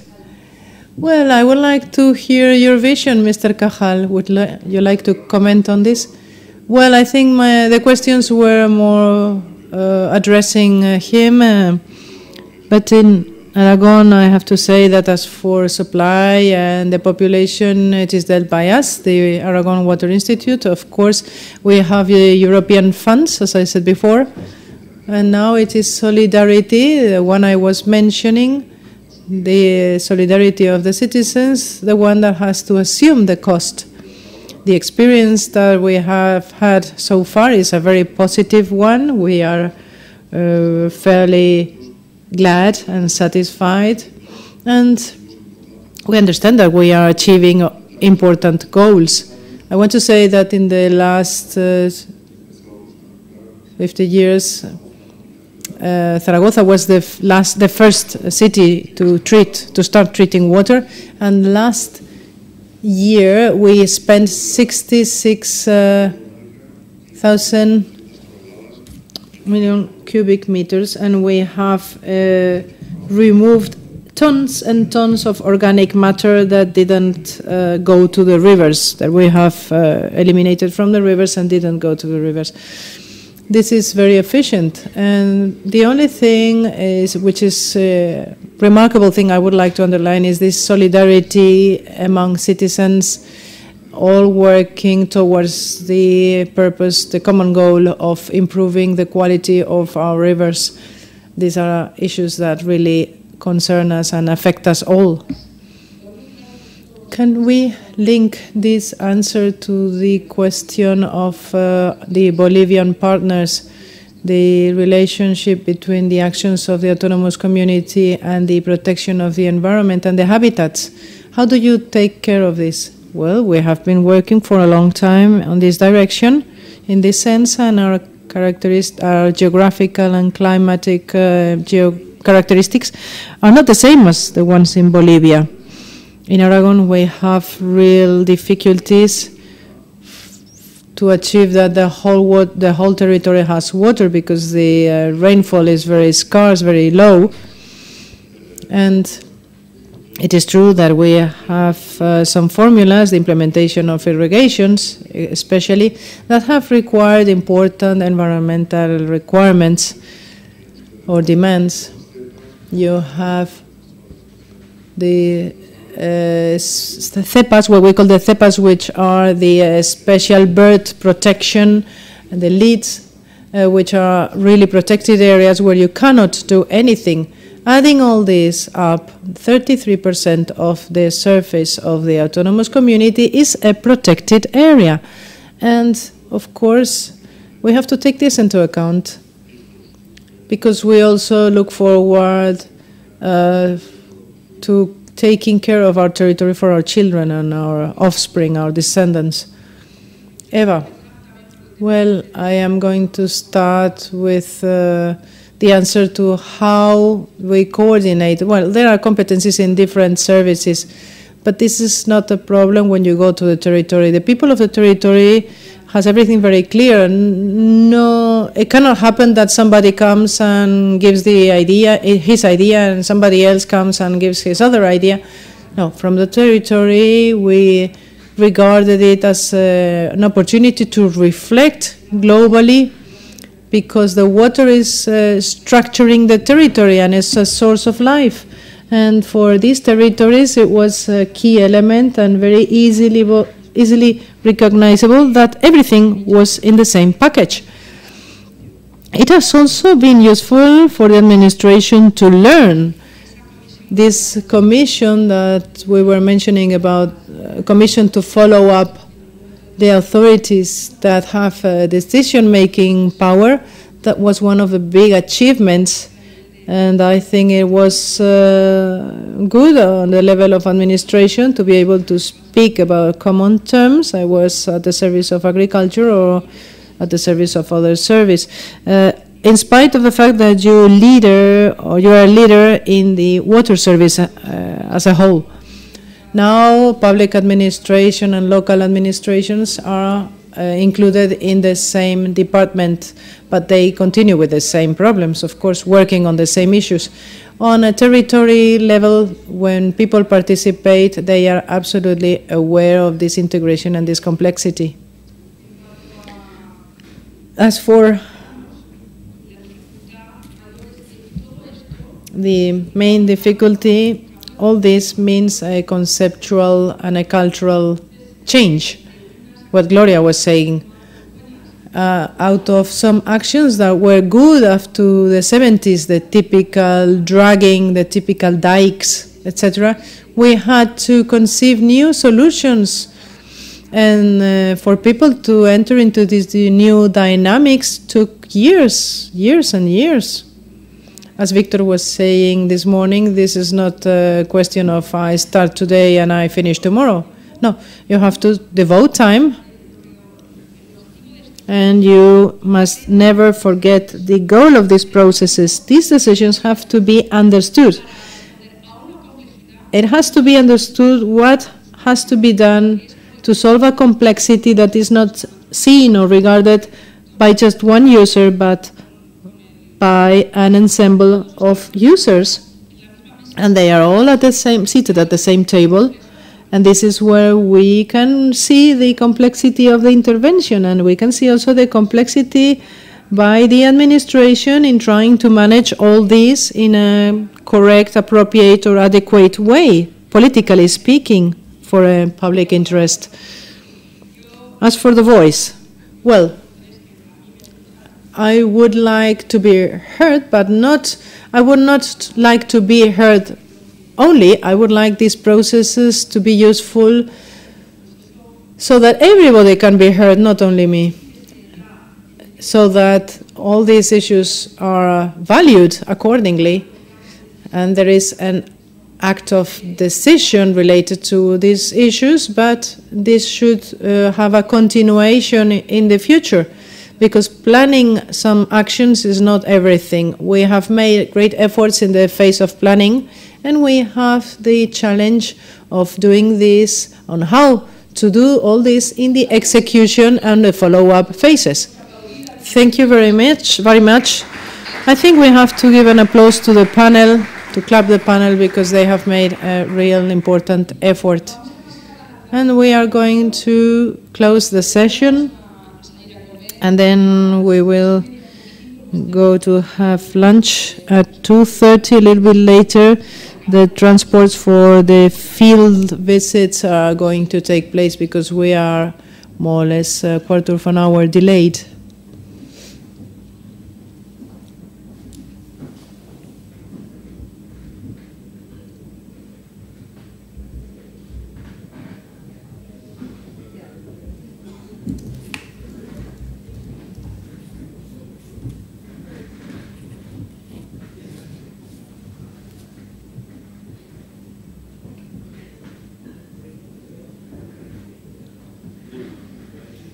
Well,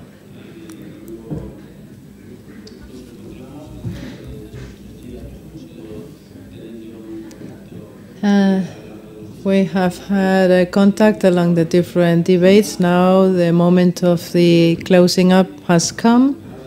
And apart from some words, I want to thank uh, the fact that this conference, or the decision that this conference has been taking place in the Ebro River Basin Authority. We are going to uh, count now with the participation of a personality here in Aragon who is the Ombudsman.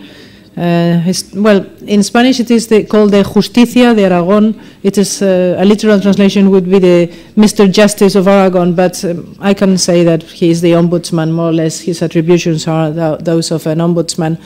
And therefore, he has been um, his uh, actions have been very important from a social, uh, political, and a cultural point of view. And I consider it important that he could be here to close the session. Well, I wanted to thank Josefina Maestu and the uh, Ebro River Basin Authority for letting us their facilities to hold this conference. I think the participation has been high. The conclusions will be recapped uh, in the future. They will be published, of course.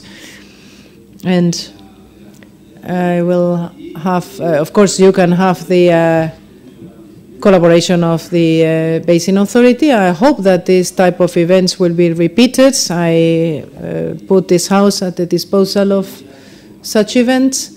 And uh, it's very good to have experiences to share in water management. I am proud of the fact that we have been able to hear in detail the um, basin management system, in particularly the Ebro River Basin management system of Spain. And uh, there are political tensions, social, environmental, technical tensions, and all of them have to be integrated by virtue of the cooperation or in the light of cooperation. This is the motto that we want to underline in the International Year of Water Cooperation in planning and in management is fundamental as well as in international cooperation, uh, which as a result of the different contacts that you've uh, had during these days, I think will be very fruitful with the Ebro River Basin Authority. I am going to give the floor to the Ombudsman, to Mr. Justicia of Aragon, and finally the balance or the summary by Josefina. Thank you very much, uh, Mr. President, dear Javier. For those of you coming from abroad, I represent an institution which is 1,000 years of age, 1,000 years old. Of course, it is the. We say that in Aragon we had justicias or ombudsmen before kings in many of the countries that are now existing. And one of my antecessors, Juan de Lanuza, when Philip II was the most powerful king of the universe, um, he cut the head, he beheaded this Mr. Juan de Lanuza, who was uh, one of the ombudsmen, of the first ombudsman. And, well, uh, my woman has been working here for over 40 years but I, uh, my father also worked here, but my, my wife would oppose, uh, today she's not here because she would oppose strongly to my being here today speaking to you. Well, I, jokes apart, or jokes aside, I want to say that water is uh, a rich resource, is resource of wealth but this is many more things. In Aragon, it is a sign of identity in Aragon. Why? Because this is a very arid land, a very desertic land. It is crossed by rivers, it's true, but it is a desert. And in spite of this, people have uh, decided to live here. Why? Because there were water. There are people who do not take a shower every day here but who consider that taking one single drop of water to some other part of Spain or the world really makes them absolutely mad of rage because this is a sentimental feeling, it's a sentimental issue. And we live the water here with such a strength, with such an energy. Every time there has been a proposal to take some one liter of water away, there has been a real, real drama, social drama here with all types of uh, public uh, demonstrations, etc. When there is water, there are new needs. And when you create new needs, uh, well, the water is scarce. I think that a good example of a good management of a scarce resource are the basin authorities in general, and very specifically the Ebro River Basin Authority. I come from the world of uh, law. In fact, I, by education, I am a uh, district attorney or a public prosecutor, but um, my family comes from the engineering world, and it is really important to say how basing ourselves on the day by day tradition and use, we have been able to solve conflicts that, if were it not for the uh, way we historically have been um, leading these conflicts or solving them, they would have been dramatic. I have seen, as a public prosecutor or district attorney, I have seen somebody kill another person because they invaded one meter of their land or one meter of their house uh, when building new houses. However, I have never seen anybody trying to kill or wanting to kill anybody for an extra use of water. Why? Because we have a good system to solve conflicts. And we have a very practical sense when solving these issues, and the uh, water commissariats, the uh, Ebro River Basin Authority, and the irrigators communities have been able, have been wise, and have been able to uh, solve conflicts very effectively. I am sure that you, all this model will be very useful for you. I just hope that you had a very pleasant stay in Aragon. This is a hosting land, and we would like to see you again here in our home, in our city. Thank you very much.